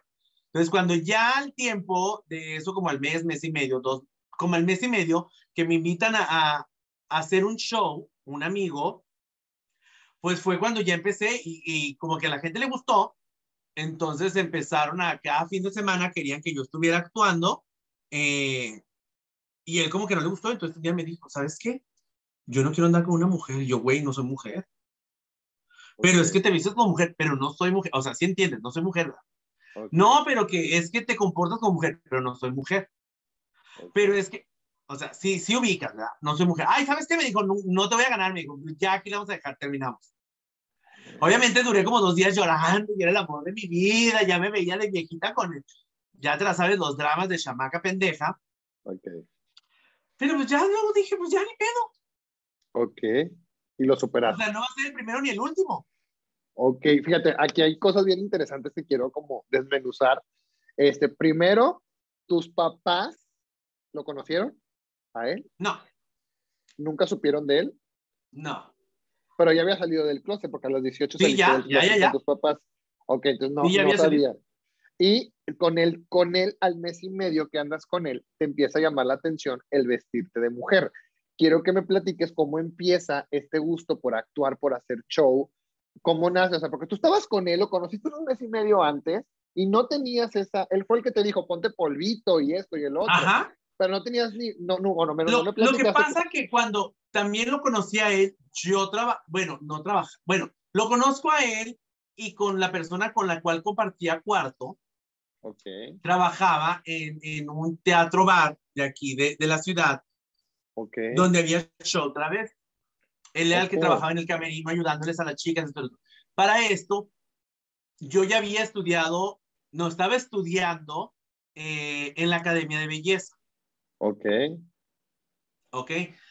Como te digo, yo era una persona muy hiperactiva. Yo en la mañana iba a la, a la universidad y en la tarde iba a la Academia de Belleza y en la noche Ok. me iba al bar para ver a mi novio y, Ok. eh, y, y ver a las chicas del show. Entonces yo me metí al camerino y lo, ay, me decían, oyes, pues estás estudiando para estilista de ellos, sí. Peíname esta peluca y ponle los tubos y ayúdame con el vestuario y esto y el otro. Entonces yo las veía y como te digo, yo siempre pregunto todo. Yo les decía, o sea, yo estaba estudiando maquillaje para ser estilista, colorimetría, guau, guau, guau. Pero yo decía, a ver, ¿por qué te haces esa raya así? No, es que para que el ojo se... Ah. ¿Y cómo peinas la peluca así? No, así. ah. Entonces fue un trayecto que yo decía, ay, qué chingón, qué padre. O sea, poderte cambiar totalmente. Y, y qué padre y qué nice y todo. Entonces un día, otro amigo me dice, oyes, tengo que hacer un show. Yo le dije, yo en mi perra vida he hecho show, ok. pero las has visto, pero no se hace show. Me dijo, no me importa, me dijo, tengo que hacer una actividad y tiene que haber show. Y yo, bueno. Entonces, el roomie de, de mi novio me dijo, yo te ayudo, me dijo, yo te consigo medias, zapatos, esto, peluca, todo. Tú nomás aprendete las canciones. Ok. Entonces, me aprendo las canciones, él me maquilla y, y hice el show. Entonces, así como que, ay, les gustó. Entonces, me vuelven a invitar a otro, como a los dos, tres días a otro show. Ok, Entonces, en ese bar en el cual yo estaba en el camerino, ya empecé a trabajar. La persona, el roomie de, de mi novio, dejó el trabajo, entonces me invitaron a mí. Entonces, Ok. estando ahí, faltó una de las chicas del show y me dijeron, oye, ¿no quieres hacer show tú? Y yo, pues, yo no sé hacer show, no manchen. Pero pues hazlo. O sea, va a ser el momento para que la gente vaya al baño cuando tú salgas. Ok. Ay, Yo, pues, está bien. Entonces, así fue. Y lo, lo que a mí me hacía mucho ruido, que antes era como uno de los lugares de, de mayor renombre en México, así como era el, el Mónicas en Guadalajara, el esto en, en, en, el Equipales en Tijuana, el, el Alfredos aquí en Sonora y en todo México era como que, wow, Las mejores estuvieron aquí y así, ¿no? Yo decía, ay, no, qué pina. Entonces ahí fue donde yo empecé. Wow. Ok, fíjate. Entonces yo decía, ¿Cómo? ay, ¿qué? cómo todo, o sea, cómo todo pasa por algo. O sea, tú tienes que conocer, o sea, cómo el conocer a tu novio como quiera con su roomie. Yo siempre lo he dicho, mi vida es una casualidad. Yo siempre estoy en el momento preciso, en el lugar preciso y Sí. cuando es preciso. Y fue lo mismo cuando me hice estilista, fue lo mismo cuando empecé a hacer show, fue lo mismo cuando conocí a todos mis novios y cosas así. Fueron casualidades de la vida. A mí la vida siempre me ha beneficiado por muchas razones, pero yo siempre confío en la suerte y en las casualidades de la vida. Entonces, era una, todo se me dio a mí por casualidad. O sea, yo nunca he buscado nada de, lo, de todo lo que he hecho, yo nunca lo he buscado, siempre se me ha dado por casualidad. De hecho, te quería preguntar, porque ah, toca, regresándome un poquito, Si me vas a preguntar Este- si soy mujer, no soy. con la parte de, estudiaste la secundaria, estudiaste la prepa, ¿en qué momento estudias, es- en qué momento te metes a la escuela de estilismo? Porque terminas la secundaria y te metes a la prepa o entras directo a la escuela de estilismo. Ahí va otra casualidad de mi vida. Cuando yo termino la, la, la prepa, entro a estudiar ciencias de la comunicación. Ok, Entonces yo estaba estudiando y en la escuela que yo estaba eran semestres continuos. Entonces ok, terminabas un semestre, 15 días y empezabas otro. ok, Así, o sea, era en greña todo. Entonces, Llegué un momento que le dije a mis papás, ¿sabes qué? Bueno, de hecho le dije a mi mamá, ¿sabes qué, mamá? Le dije, estoy muy cansado, me voy a dar un año sabático, ya no quiero estudiar este año, que fue en el periodo de las vacaciones, ¿no? Le dije, las próximas, para volver a entrar, ya no voy a volver a entrar. Ah, perfecto, me dijo mi mamá. Pero en esta casa, me dijo, tienes que producir. O produces conocimiento o produces dinero. Entonces, mi hijito me dijo, búscale trabajo. Obviamente, como buen chamaco, yo le buscaba trabajo para no encontrar. Ay, pero espérame, déjame paro porque, como te digo que soy así como que medio muy hiperactiva, ya me cansé de estar sentado. Entonces, cuando empiezo a buscar trabajo, cerca de mi casa estaban solicitando recepcionista para un salón de belleza. Dije, pues voy a ir, dije, a ver qué pedo. Dije, no debe ser tan difícil contestar un teléfono. Entonces, voy a, a, la entrevista de trabajo y me dan el trabajo. Entonces, empiezo a trabajar en ese salón de belleza y, y llegaba una, eh, me decían, tienes que contestar el teléfono, agendar las citas, dárselos a los estilistas de ahí, porque eran varios estilistas, limpiar la recepción, limpiar el salón, así todo. Pues yo eso me lamentaba en friega, pues. Entonces llegaba un momento que yo así como que me ponía a ver a todos los estilistas, ¿y por qué estás haciendo eso? Pues porque así corto. Ah, ¿y por qué así? Pero ella lo hizo así. ¿Por qué así? Entonces me dice el estilista, el dueño del salón, me dijo, ¿te gusta todo esto? Pues, pues no le dije. Ah, me dijo, ¿quieres aprender a lavar el pelo? Y yo, bueno, me enseñó a lavar el pelo, y yo les daba masajito a las clientes y les platicaba. Y, pues para ya al rato, como a los dos, tres días, ya las clientes decían, ay, que me seque el Ariel, que me lave el pelo el Ariel, que me lave el pelo el oh. muchacho. Y así empecé. Entonces, como, a lo, como al mes de eso, yo ya tenía, ya me decía el estilista, te voy a preparar el tinte, tú se lo aplicas a la cliente. Y sí, pues yo le aplicaba el tinte y todo. Entonces un día me dijo el estilista, ¿quieres ser mi asistente? Y yo, ¿me vas a pagar más? Sí, me dijo, ah, perfecto.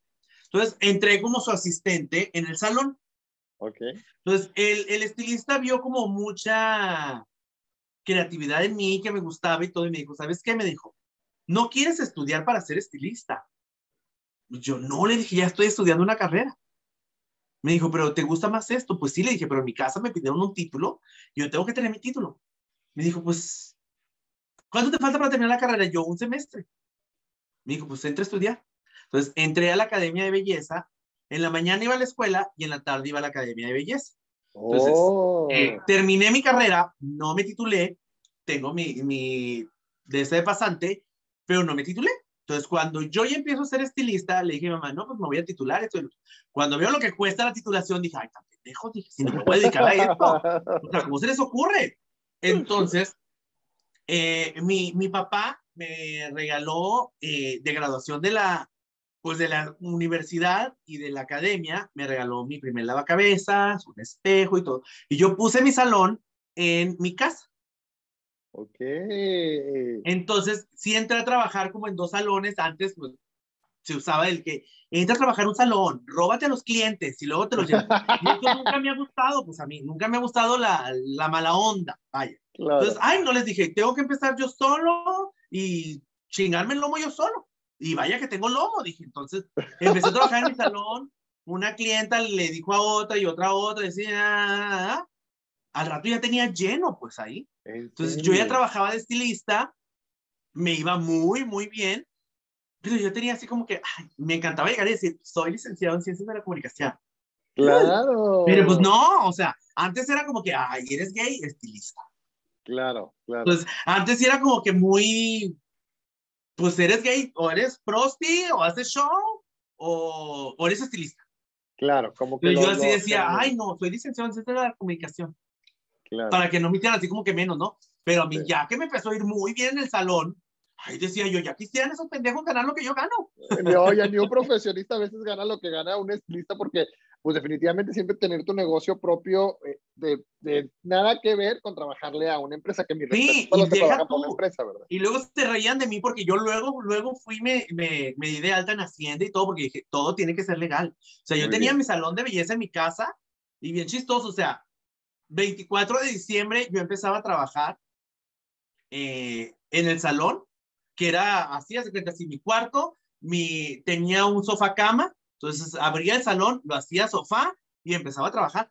Y se acababa el trabajo, Oh, ponía mi cama y a dormir. Entonces, 24 de diciembre era que sentaba a todas las clientes en la sala y mi mamá cocinando la cena y dándoles recetas y yo te las entretengo, tú no te preocupes. Y era una y otra y otra y otra. O sea, había años en que eran las 10 de la mañana, empezaba a trabajar, eran las 11 de la noche, literal. 11 de la noche y yo seguía trabajando. ¿Qué edad en- tenías en cuando empezaste con el salón? 19 años. 19 años. ¡Wow! Y ya económicamente aportabas también a tu, a tu casa, le ayudabas a tu Sí, familia. sí. Yo llegaba a mi, eh, eh, ahí en mi casa y yo les decía, ay, además se me antoja poner otra barra. O vamos a comprar bancos. O vamos a eso. Yo desde muy temprana edad supe lo que era el dinero. Es algo que no dijimos ahorita, pero cuando yo ya estaba en la secundaria, un día, te digo, las casualidades de la vida. No, Cerca de mi casa yo veía, porque yo me iba caminando y me regresaba caminando a la escuela, Ok. y yo veía así como que una casa bien bonita y entraban unas doñas bien furufas, bien perras y salían con unas super bolsas y cosas así, ¿no? Ok. Y un día dije, ay, de esas veces que salgo temprano de la escuela y llegué, y dije, oigan, ¿qué venden aquí? No, que es una línea francesa de productos de belleza y la madre. Ay, le dije, y olía muy bonito y muchos, muchos productos y así, ¿no? Ay, le dije, qué padre, yo quiero vender. No, me decían, tiene que venir tu mamá. Yo, bueno, le dije a mi mamá, fui y le inscribí. A todas las maestras, las prefectas, todo el mundo tenía endeudado en la escuela. Ay, no. Pero yo desde la secundaria yo ya andaba en las ventas y todo. Entonces tú ya tenías dinero a muy, a muy, muy temprana edad, tú ya dinero, producías sí. dinero. Ok, Sí. y con el, con- cuando ya eres, cuando fuiste estilista, empezaste a ganar dinero, te pudiste comprar tu primer carro y todo eso, ya te empezaste a hacer tus cositas. No sé manejar. ¿En serio? ¿No te gusta? Como me No. preguntan, ¿y por qué no manejas, Monse? Pues no manejo ni mi pinche vida, que simple le digo. Entonces, ¿cómo ¿No te mueves? manejar? En- en- en- ¿Te mueves que en Uber? ¿Tienes alguien que te lleve y te No, trae? no, o- no. eh, mi, mi, mi pareja, él maneja, tenemos carro y todo. Ah, ok, ok, pero tú no. ¿Y por qué no te, o sea, es, no te gusta simplemente o es algún miedo que tienes? No, no me gusta. No te gust- nunca tuviste ningún accidente, nunca presenciaste un accidente, nunca nada. Eh, sí tuve, pero no fue así como que un accidente muy, muy fuerte. Pero sí, una vez en mi cumpleaños veníamos de, de una comida que fui con mi familia y nos chocaron así por, por alcance, así por atrás. Eh, pero nomás así como que el chicotazo que te da que te ponen el collarín todo mamón y todo. Pero no, no, no, nunca pasó a mayores, pero nunca me ha gustado manejar. No sé por Ok. qué. Simplemente no te gusta. Ok, Ajá. padre. Mira, pues qué bien que tengas como quiera quien te lleve y te traiga, porque luego es un batallar con eso de andar con los Uber y todo ese rollo. Ay, sí. No, y, y a Fabi le encanta manejar y todo. Entonces, ay, llévame para acá, llévame para allá. Ok. Entonces, no, muy cómodo. Y si no oye, no- caminando o en Uber, ¿qué tienen? ¿Nunca te pasó que alguien te buscara por interés? O sea, porque luego se da mucho que saben que tienes tu negocio, tú que eres estilista. ¿Nunca te pasó algún chacal que se les conoce a la gente que no, que no sepa el concepto de chacal en la comunidad? Bueno, al menos aquí en Monterrey, no sé en Hermosillo, pero en la comunidad se les conoce chacal como aquellos, digamos, hombres heterosexuales o bisexuales que andan con un gay, pues como para bajarle lana, como para que les invite a la copa, este, para ese tipo de Eh, cosas. Sí, es igual, creo que yo en todo México y en todas partes se le conoce como el chacal. De hecho, como te dije ahorita, a mí nunca me han gustado los hombres, a mí me gustan los gays. Ok, ok, ok. Pero sí te pasó que te Entonces- tiraron el rollo. O sea, que Sí, no, sí, sendas veces. Y decía yo, pues claro, obvio, le damos Ok. su buena beca ahorita. Sí me pasó, pero pues yo siempre lo he dicho. No estoy como que para que me posen ni me presuman, pero digo yo, amor de cuatro paredes, qué pinche hueva. O sea, no, no soy una persona así como que hay que tener escondida, ni estoy tan fea, ni nada por el estilo. Si vas a estar conmigo es porque vas a andar conmigo en todas partes. Ok, perfecto. Lo tienes claro desde siempre. Sí, o sea, me puede encantar la persona y lo que tú quieras, y, pero no le digas a nadie, ay, qué hueva. Ok. O sea, ¿Y sí me lo todo, pasó? pero ya, bye. ¿Y nunca te pasó alguien que tú dijeras, ay, porque este, pues eh, yo tenía gente conocida, fíjate, me tocó, eh, no, no digo, no, no, no doy datos específicos porque no quiero que la persona se sienta aludida, pero este, conocer a varios que en, en mi etapa joven pues sí tenían como esta, esta parte de, no, me pues le pago para que nada más pues, te vaya en la noche y me dé mi mantenimiento, me explico, y le doy como su cuota semanal. ¿Contigo Mira, nunca pasó eso? yo eh, sí tuve un noviecito que fue así, y de hecho fueron años los que anduvimos. Eh, que sí, todo muy por debajo del agua, que nadie se entere y todo, pero un día dije yo, "Ay, este güey no me va, no me va a manipular a mí. Entonces sí lo fuimos llevando la relación, esto y el otro, llegué un momento que conocí a su familia, esto, el otro, andaba conmigo para todas partes, eh, Ok. nunca se dijo, es mi pareja, no, pero haz de cuenta que sí, nomás faltó decirlo, pero andábamos en todas partes juntos. Y le daba su cuota semanal y todo. No, no, no, jamás, jamás. Ah, no. Jamás darle dinero. Si quiere dinero, que trabaje. Perfecto. Nunca, nunca pasó. A lo mejor trabajaba conmigo haciéndome cosas a mí, o sea, no sexuales, pero cosas de, de mi show, de llevarme, traer, ahí sí. Ok. ahí y sí. era más que nada el, ay, necesito esto, yo lo compraba. Pero así, toma dinero para que te lo gastes en lo que tú quieras en tu novia, no. No, ah, perfecto. Oye, y en el ambiente en el que nos movemos, bueno, el- porque yo tengo, este, pues muchas amigas que son trans y todo, pero también me ha tocado ver que hay mucho lío. ¿Te ha tocado alguna vez pelearte con alguna que, le te- que tengas que pelearte de palabras o que le hayas llegado al momento de ponerle un alto Mira, a golpes? en, en una ocasión, pues casi siempre yo soy aquí la que conduce el show. Entonces, en un show que, que estaba en, en, en un lugar, pues yo empecé a, a conducir el show y empecé a hacer un comentario de, no recuerdo cómo salió el tema, pero yo empecé a decir de las chicas sexo servidoras, pues que, que, o sea, que los tenían muy grandes porque pues mm, con lo que se te pusiera enfrente tenías que entrarle. Pues, Adelante, adelante, adelante. Ajá, Entonces, Sí, claro, yo, claro, o claro. sea, yo empecé a lavarlas ajá. Y yo, dec- y yo dije, yo dije en ese momento, o sea, ya quisiera yo poder haber tenido el valor para hacer lo que estas chicas hacen, porque yo siempre fui muy miedosa.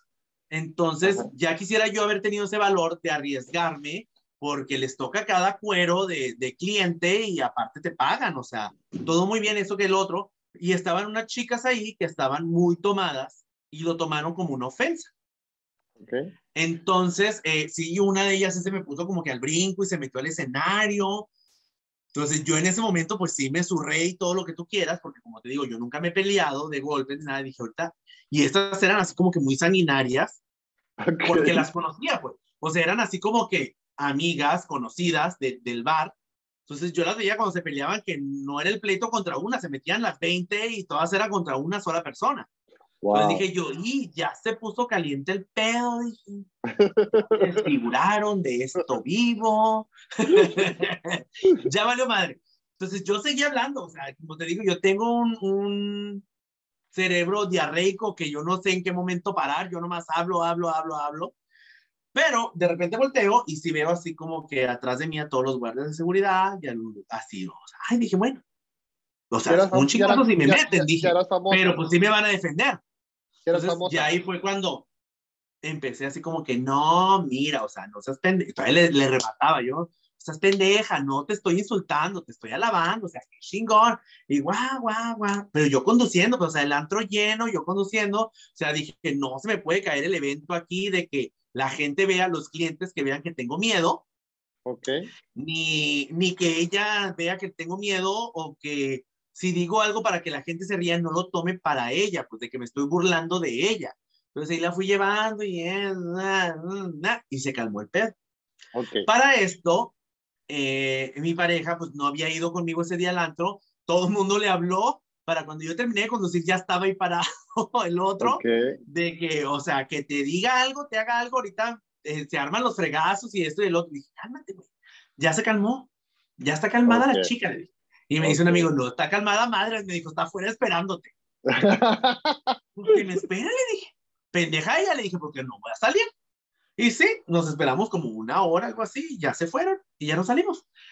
Siguiente fin de semana me la vuelvo a encontrar en el antro y, ay, hermana, ¿cómo estás? Y yo así que, güey, cálmate, no te me acerques. Me dijo, hermana, ¿qué onda? Ya me dijeron que, que hicimos una escena el, el domingo y dije, ya se me olvidó.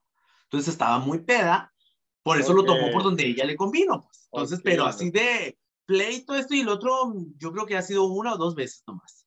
Wow. Oye, en este momento quiero, eh, hablando de toda la, tu etapa de conducción y todo esto, este, llegar al punto donde te empiezas a hacer famosa. Yo me acuerdo, porque una cosa es vivir tu vida de estilista, ser muy popular con tus amigos y tener muchos amigos, pero otra cosa muy diferente es llegar a tener fama, que muchos lo quieren y quizás pocos lo logramos, y me incluyo con, con sencillez en esta, en, esta, en esta frase.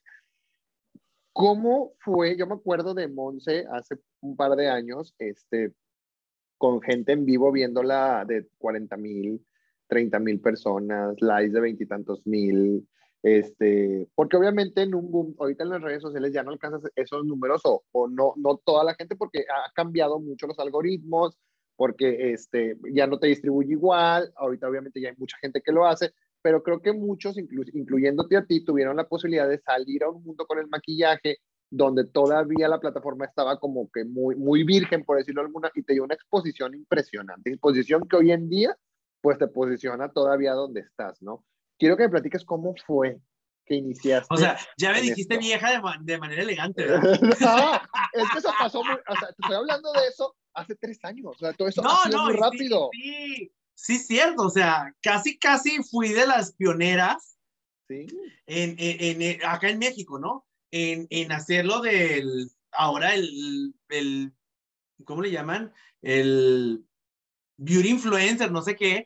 O sea, yo creo que, yo creo que estabas tú, estaba uno que se murió en Estados Unidos, no me acuerdo el, el nombre. Hugo Aguirre. Hugo Aguirre, Tatis, este, estaba Tatis, eh, Roxy Bella, también empezó a la par, estaba Roxy Bella, Tatis, Noemi Roca, también en ese momento, este, y, como, y tú, como de los que más gente tenía conectada con la audiencia, y con sencillez también mi esposo en ese momento estaban, se conectaban y te, alcanzaban muy buenos números, este, pero a ti, ¿cómo te llegó, cómo llegó esa oportunidad de hacer, de prender una cámara, desde, ¿cómo se te ocurrió hacer un en vivo? O sea, ¿cómo fue eso? ¿Cómo pasó? Te lo digo que son las casualidades de mi vida.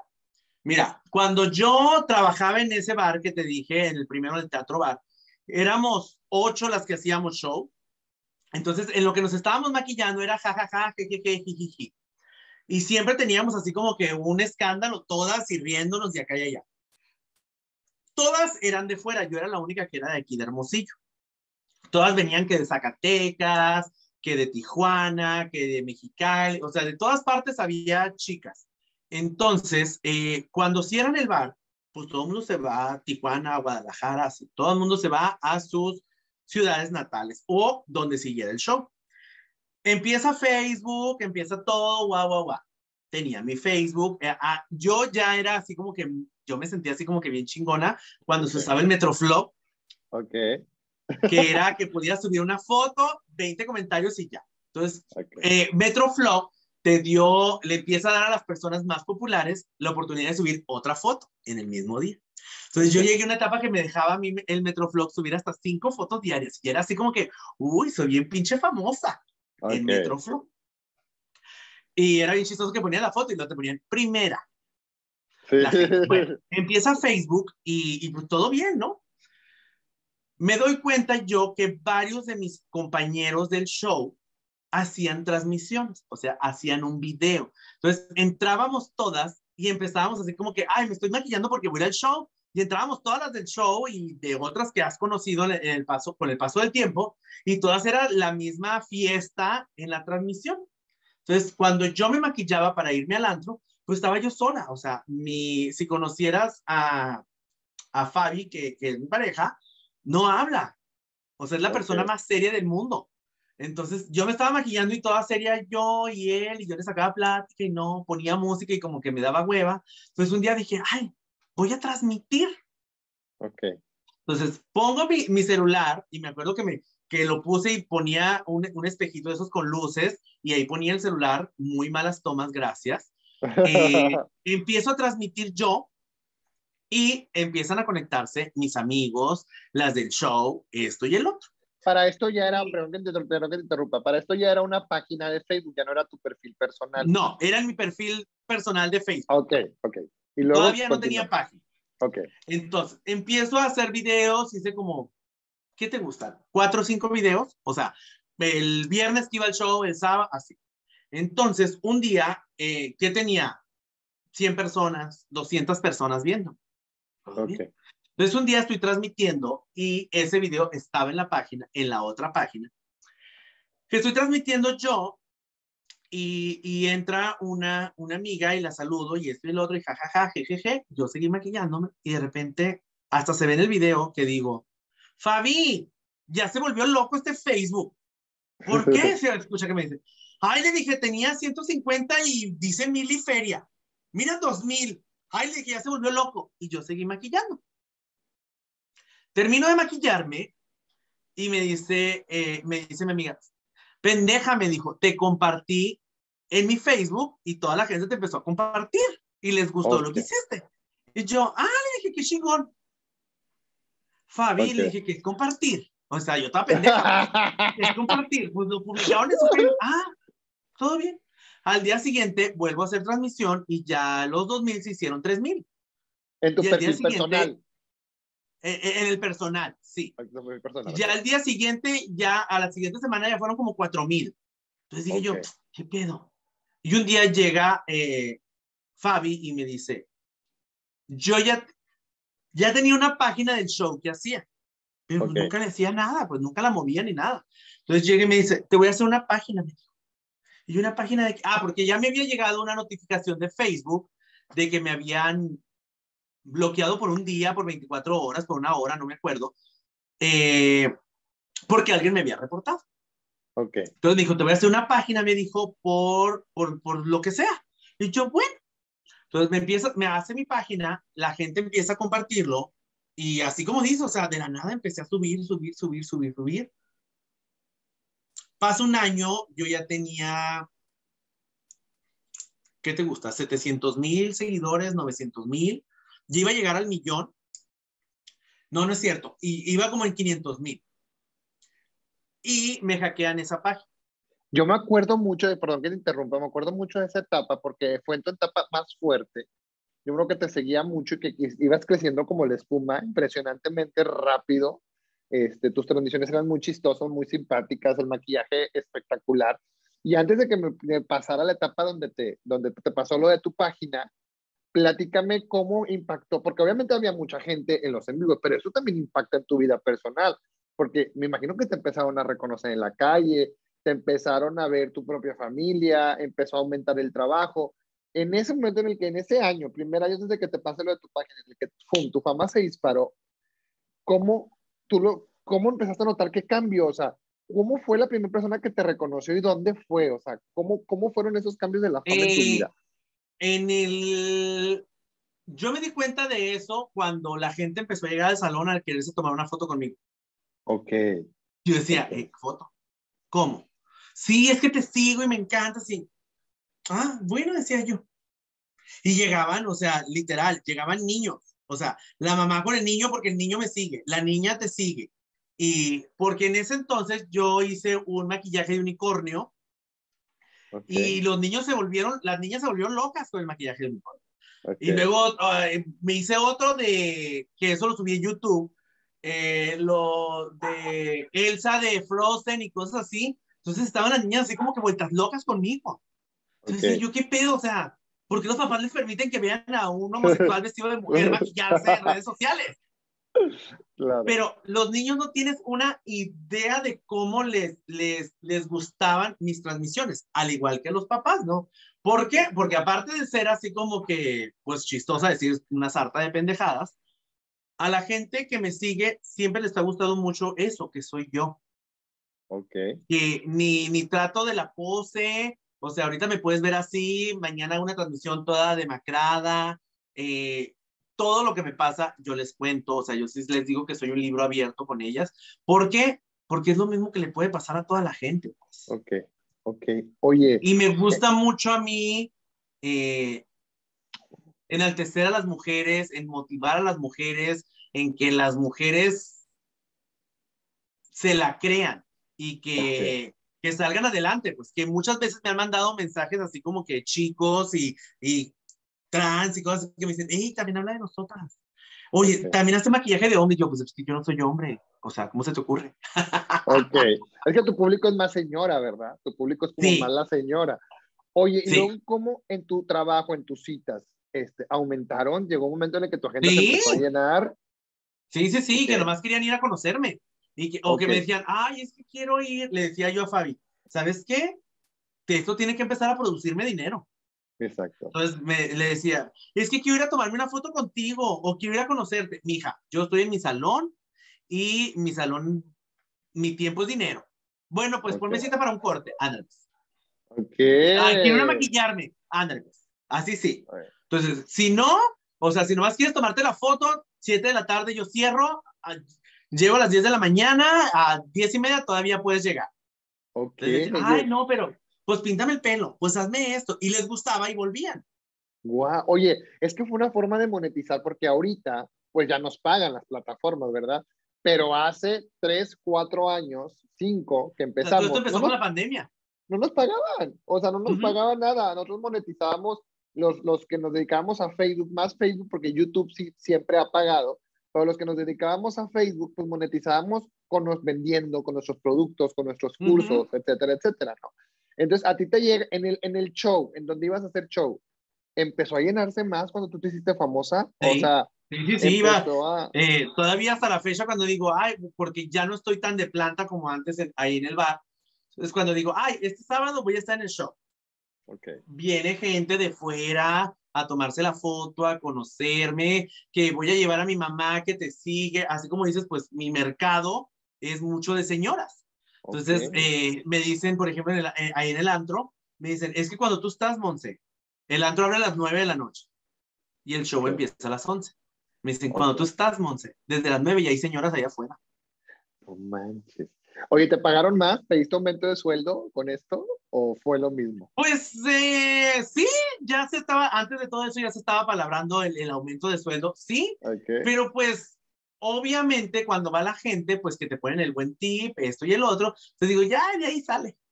Muy bien. Tu mamá, tu papá, tu familia, ¿cómo tomaron tu fama? Porque una cosa es que, ay, mi hijo es transvesti, es, es transgénero, pero es mi hijo, pero cuando ya compañeros de trabajo, quizás familia, tíos lejanos que nunca te han venido a visitar, ya te empezaron a ver en redes, ¿qué te decían tus papás de esto? Pues eh, en mi casa siempre me han apoyado mucho en todo lo que hago, porque saben que soy una persona muy trabajadora. Entonces, eso en mi casa, o sea, cuando empecé a hacer las transmisiones, que me decían, ¿y eso por qué o para qué? O sea, ¿para qué quieres exhibirte tanto? Me decían, y yo no, mamá, voy a ser famosa. Mentira, yo nomás para que no me estuviera diciendo nada a mi mamá. Okay. Eh, yo nunca pensé, sinceramente te lo digo, yo jamás pensé que iba a tener el alcance que he llegado a tener.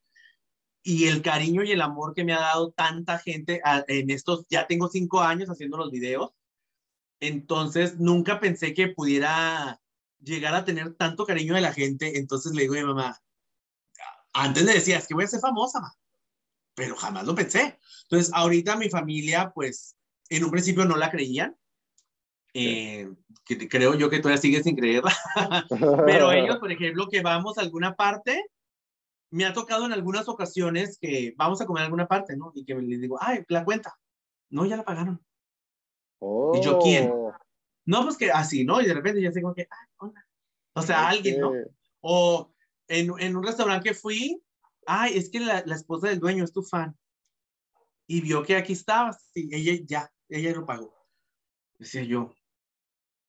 O sea, a mí se me hace muy raro. Wow, pero qué bonito. A mí que lleguen a regalarme, imagínate, alguien que desde la secundaria trabaja, que llegue alguien a regalarte algo, se me hace muy raro.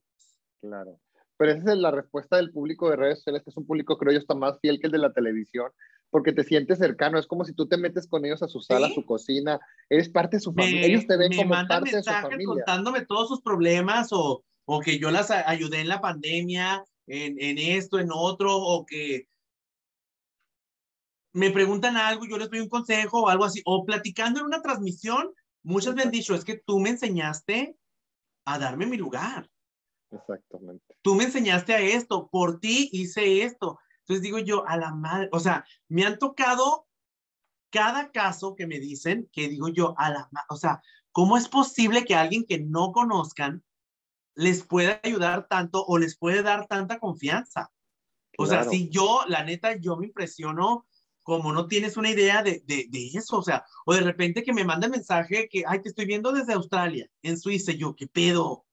O sea, no tiene nada mejor que ver por allá. es que es la, es la magia de las redes sociales y que... Sí, la o que me dicen... ¿Qué? No, dime, dime, dime, dime. Ah, que me dicen, ahí tengo fans que me dicen, yo no hablo español, pero me encanta verte, cómo te ríes, cómo te arreglas, como eso, me gusta. Y me dicen, y como hablas inglés, pues te lo pongo en inglés, me dice. Y a veces muy padre porque en tus transmisiones dices algo en inglés y me emociono y yo. O sea. Es que es la magia de la... digo yo, o sea, si yo no le entendiera a alguien, pura madre lo ve. es que es, esa es el, el poder y el alcance de las redes. Oye, y luego pasa el año, tu fama, super padre y todo, y al año te sucede algo con tu página. Yo me acuerdo perfecto porque yo te seguía y me acuerdo que de repente ya no te vi. Ah, o sea, ya no. Y luego, y luego de repente ya no te vi y luego de repente ya como que anunciaste otra página nueva. ¿Qué pasó? No recuerdo si en algún momento a lo mejor lo hiciste y no, no lo vi.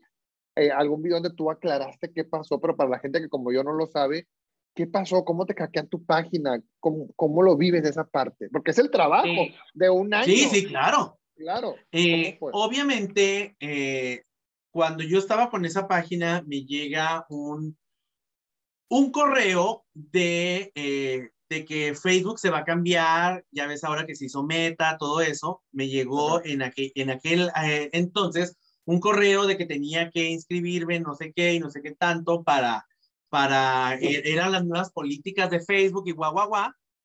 Yo toda pendeja. Obviamente, Fabi conoce de redes sociales, pero yo en ese momento dije, ay, no lo quiero molestar. Ok. Entonces, yo empecé a hacer ese, ese, protocolo a todo lo que da. Ok. Pero lamentablemente, cuando lo estaba haciendo, me llega un correo y me dicen que me habían quitado el administrador de la página. Santo Dios. Y ya fue cuando le dije, Fabi, verás, Entonces, cuando ya Fabi empieza ahí, quitamos a las personas que habían, se habían metido pero obviamente tenían más conocimiento de todo eso de redes sociales y obviamente a los dos días eh, me tumban de, de, la administración de la página y me tumban la página. Entonces, eh, cuando pasó eso, yo recuerdo pues que me deprimí, me agüité, lloré, esto y el otro. Entonces ahí me dijo, no, no, te preocupes, me dijo, ¿qué? O sea, nomás perdiste la página, me dijo. Tú siempre dices que a ti te gusta batallar, a ti te gusta luchar y, y todo, entonces, pues, vuelve a empezar de cero. Pues sí, le dije, no pasa nada. Entonces, yo me dormí, cuando despierto ya Fabi había hecho la nueva página, este y el otro, lo había empezado a compartir con, eh, seguidoras eh, que compartían la nueva página, se empezó a compartir. En dos días se hizo una compartidera y yo ya tenía mi Instagram y la página de YouTube. Entonces, cuando ahí empezamos a compartir esto y el otro, en dos días hice, a los dos días de eso, hice mi primera transmisión en la nueva página que la empezaron a compartir también. Y, y en esa primera transmisión sí tuve como 10 mil, 9 mil personas viéndome. Entonces fue como que ah, ya no me siento tan mal, o sea, sí me están siguiendo las chicas. Entonces de ahí fue que, que se hizo la nueva página. Antes era Monse Show, hoy es Monse Show Makeup. Okay. Y ahí fue cuando ya hicimos lo de eh, el registro de marca, esto y el otro, y ya todo eso, pues, para posibles nuevos hackeos. Y esto va para la gente que tiene páginas, tengan mucho cuidado, constantemente a nosotros también, todos los días nos llegan correos como si fuera de Facebook, aparentemente, de que infringiste una, infringiste una norma que no sé qué, te llegan, pero son, te dicen, dale clic aquí y es pura mentira si tú le das clic, te van a decir inicia sesión y lo que estás haciendo al iniciar sesión es que obtienen tus datos. A veces son páginas de otros países que ni siquiera, o sea, gente muy especializada en eso, que con que tú hagas eso, pum, en un segundo ya te la tumba. Entonces, a la gente que nos está viendo que tiene página, no hagan caso. Facebook no te notifica nada a través de correo electrónico, todo es a través de la misma plataforma de Facebook. O sea, desde Pero estamos hablando de, de, hace cuatro años atrás, pues ah, que no claro. era tan, tan como ahora, pues a mí, a mí me pasó, Monse. Yo en la página oficial, porque pues yo dirijo la página de mi esposo y la mía, y cuando iniciamos la de mi esposo me llegó un correo igual de que, ay, este, tienes una eh, copyright, algo de copyright, pero si le das clic, si le das clic aquí en 24 horas, este, ya te vamos a, tienes que apelar, darle clic aquí antes de que te cierre la página, era el primer correo que me llegaba. Yo le doy clic a la, al link y nada más donde le doy clic al link, en ese momento como que reacciono y digo, no mames, no, entonces nomás donde quito, o sea, todavía ni siquiera se cargaba, nada más donde quito la carga, ya me habían llegado otro correo donde ya habían agarrado una contraseña, pero no la de la página, pero habían logrado entrar a mi computadora y habían obtenido una contraseña. Entonces, eh, imagínate esto, ¿no? Pero pues no sabías. Entonces. Sí, este, sí. ¿Y quién obtuvo tu, o sea, nunca tuviste la oportunidad de platicar, de decir, oye, pues regrésamela, cuánto me cobras? Nunca tuviste la oportunidad de saber quién fue no, porque número uno eran eh, unas personas, unos musulmanes, entonces, como yo ya empecé con la nueva página, eh, y las, las, las seguidoras empezaron a seguirme, obviamente, muy rápidamente. Entonces, yo lo único que les decía era, repórtenla, repórtenla para que la tumben. A la fecha todavía existe o ya no. No, ya no existe la otra página. Y me duele el alma porque me hubiera encantado quedarme de perdida con los videos de esa página. De verdad, pues mi primer video que hice. Pero mira, todo pasa por algo y de alguna manera... Todo pasa por algo, claro. todavía no estaba ni siquiera este, la, la, monetización porque ahora los que perder una página es pierdes tus seguidores, tu trabajo y aparte pierdes tu ingreso. Porque ahorita ya con la parte de la monetización que, digo, no es que la tengas activada, pero creo que a la mayoría de los influencers de ese entonces se nos activó. Este, pues imagínate, ya se convierte también en un ingreso de como parte del trabajo, ¿no? Este, oye, Monse, y después de eso, pues resurges, empieza tu canal de YouTube, empiezas a hacer otro tipo de contenido, ya no nada más maquillaje, sino que empiezas a hacer videos de cocina, tu vida, etcétera, etcétera. Y al día de hoy, ya llevamos una, casi dos horas, Monse, ya llevamos casi dos horas, ya, ya estamos casi en el cierre. Yo sé que ya nos tardamos mucho, pero es que tu vida da para más. Y créeme lo que hay tantas cosas que me quedo, porque quisiera andar con mil y un cosas, pero no te quiero quitar cuatro horas de tu tiempo. Oye, este. luego hacemos otro. luego hacemos otro. Platícame el día de hoy, este, Monse, este, qué proyectos tiene, qué le espera a Monse para que la gente sepa, la que te conoce y la que no te conoce también sepa qué es lo que viene para Monse Show. Ay, ¿qué es lo que viene? Pues seguir batallándole a la vida. Ok. o sea, mira, yo siempre digo, ay, se me acaba de ocurrir esta idea nueva para, para otro tipo de videos, ¿no? Y a la hora, la hora digo, pues no, o sea, mis videos son, eh, ya ahorita, eh, no sé en el caso de ustedes si, si sigan haciendo exactamente los mismos videos de cuando empezaron, que de maquillaje, que de esto, que del otro.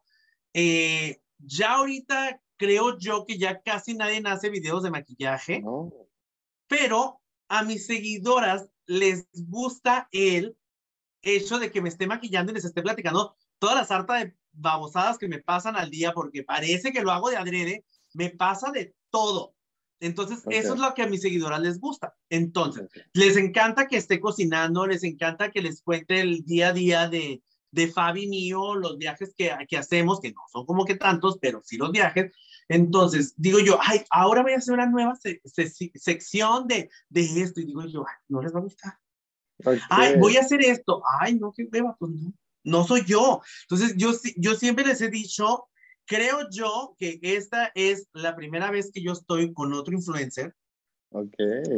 Nunca yo he hecho colaboraciones con nadie. Me han pedido mucho, pero yo digo, ay, no, los veo los pedos que se hacen entre unos y otros. Digo yo, qué hueva. Yo soy una persona, a mí no me gustan los pedos, a mí no me gustan los enredos ni nada me han metido, no tienes una idea en cuánto pedo que dije, que no dije, que esto, que lo, es gente que ni conozco.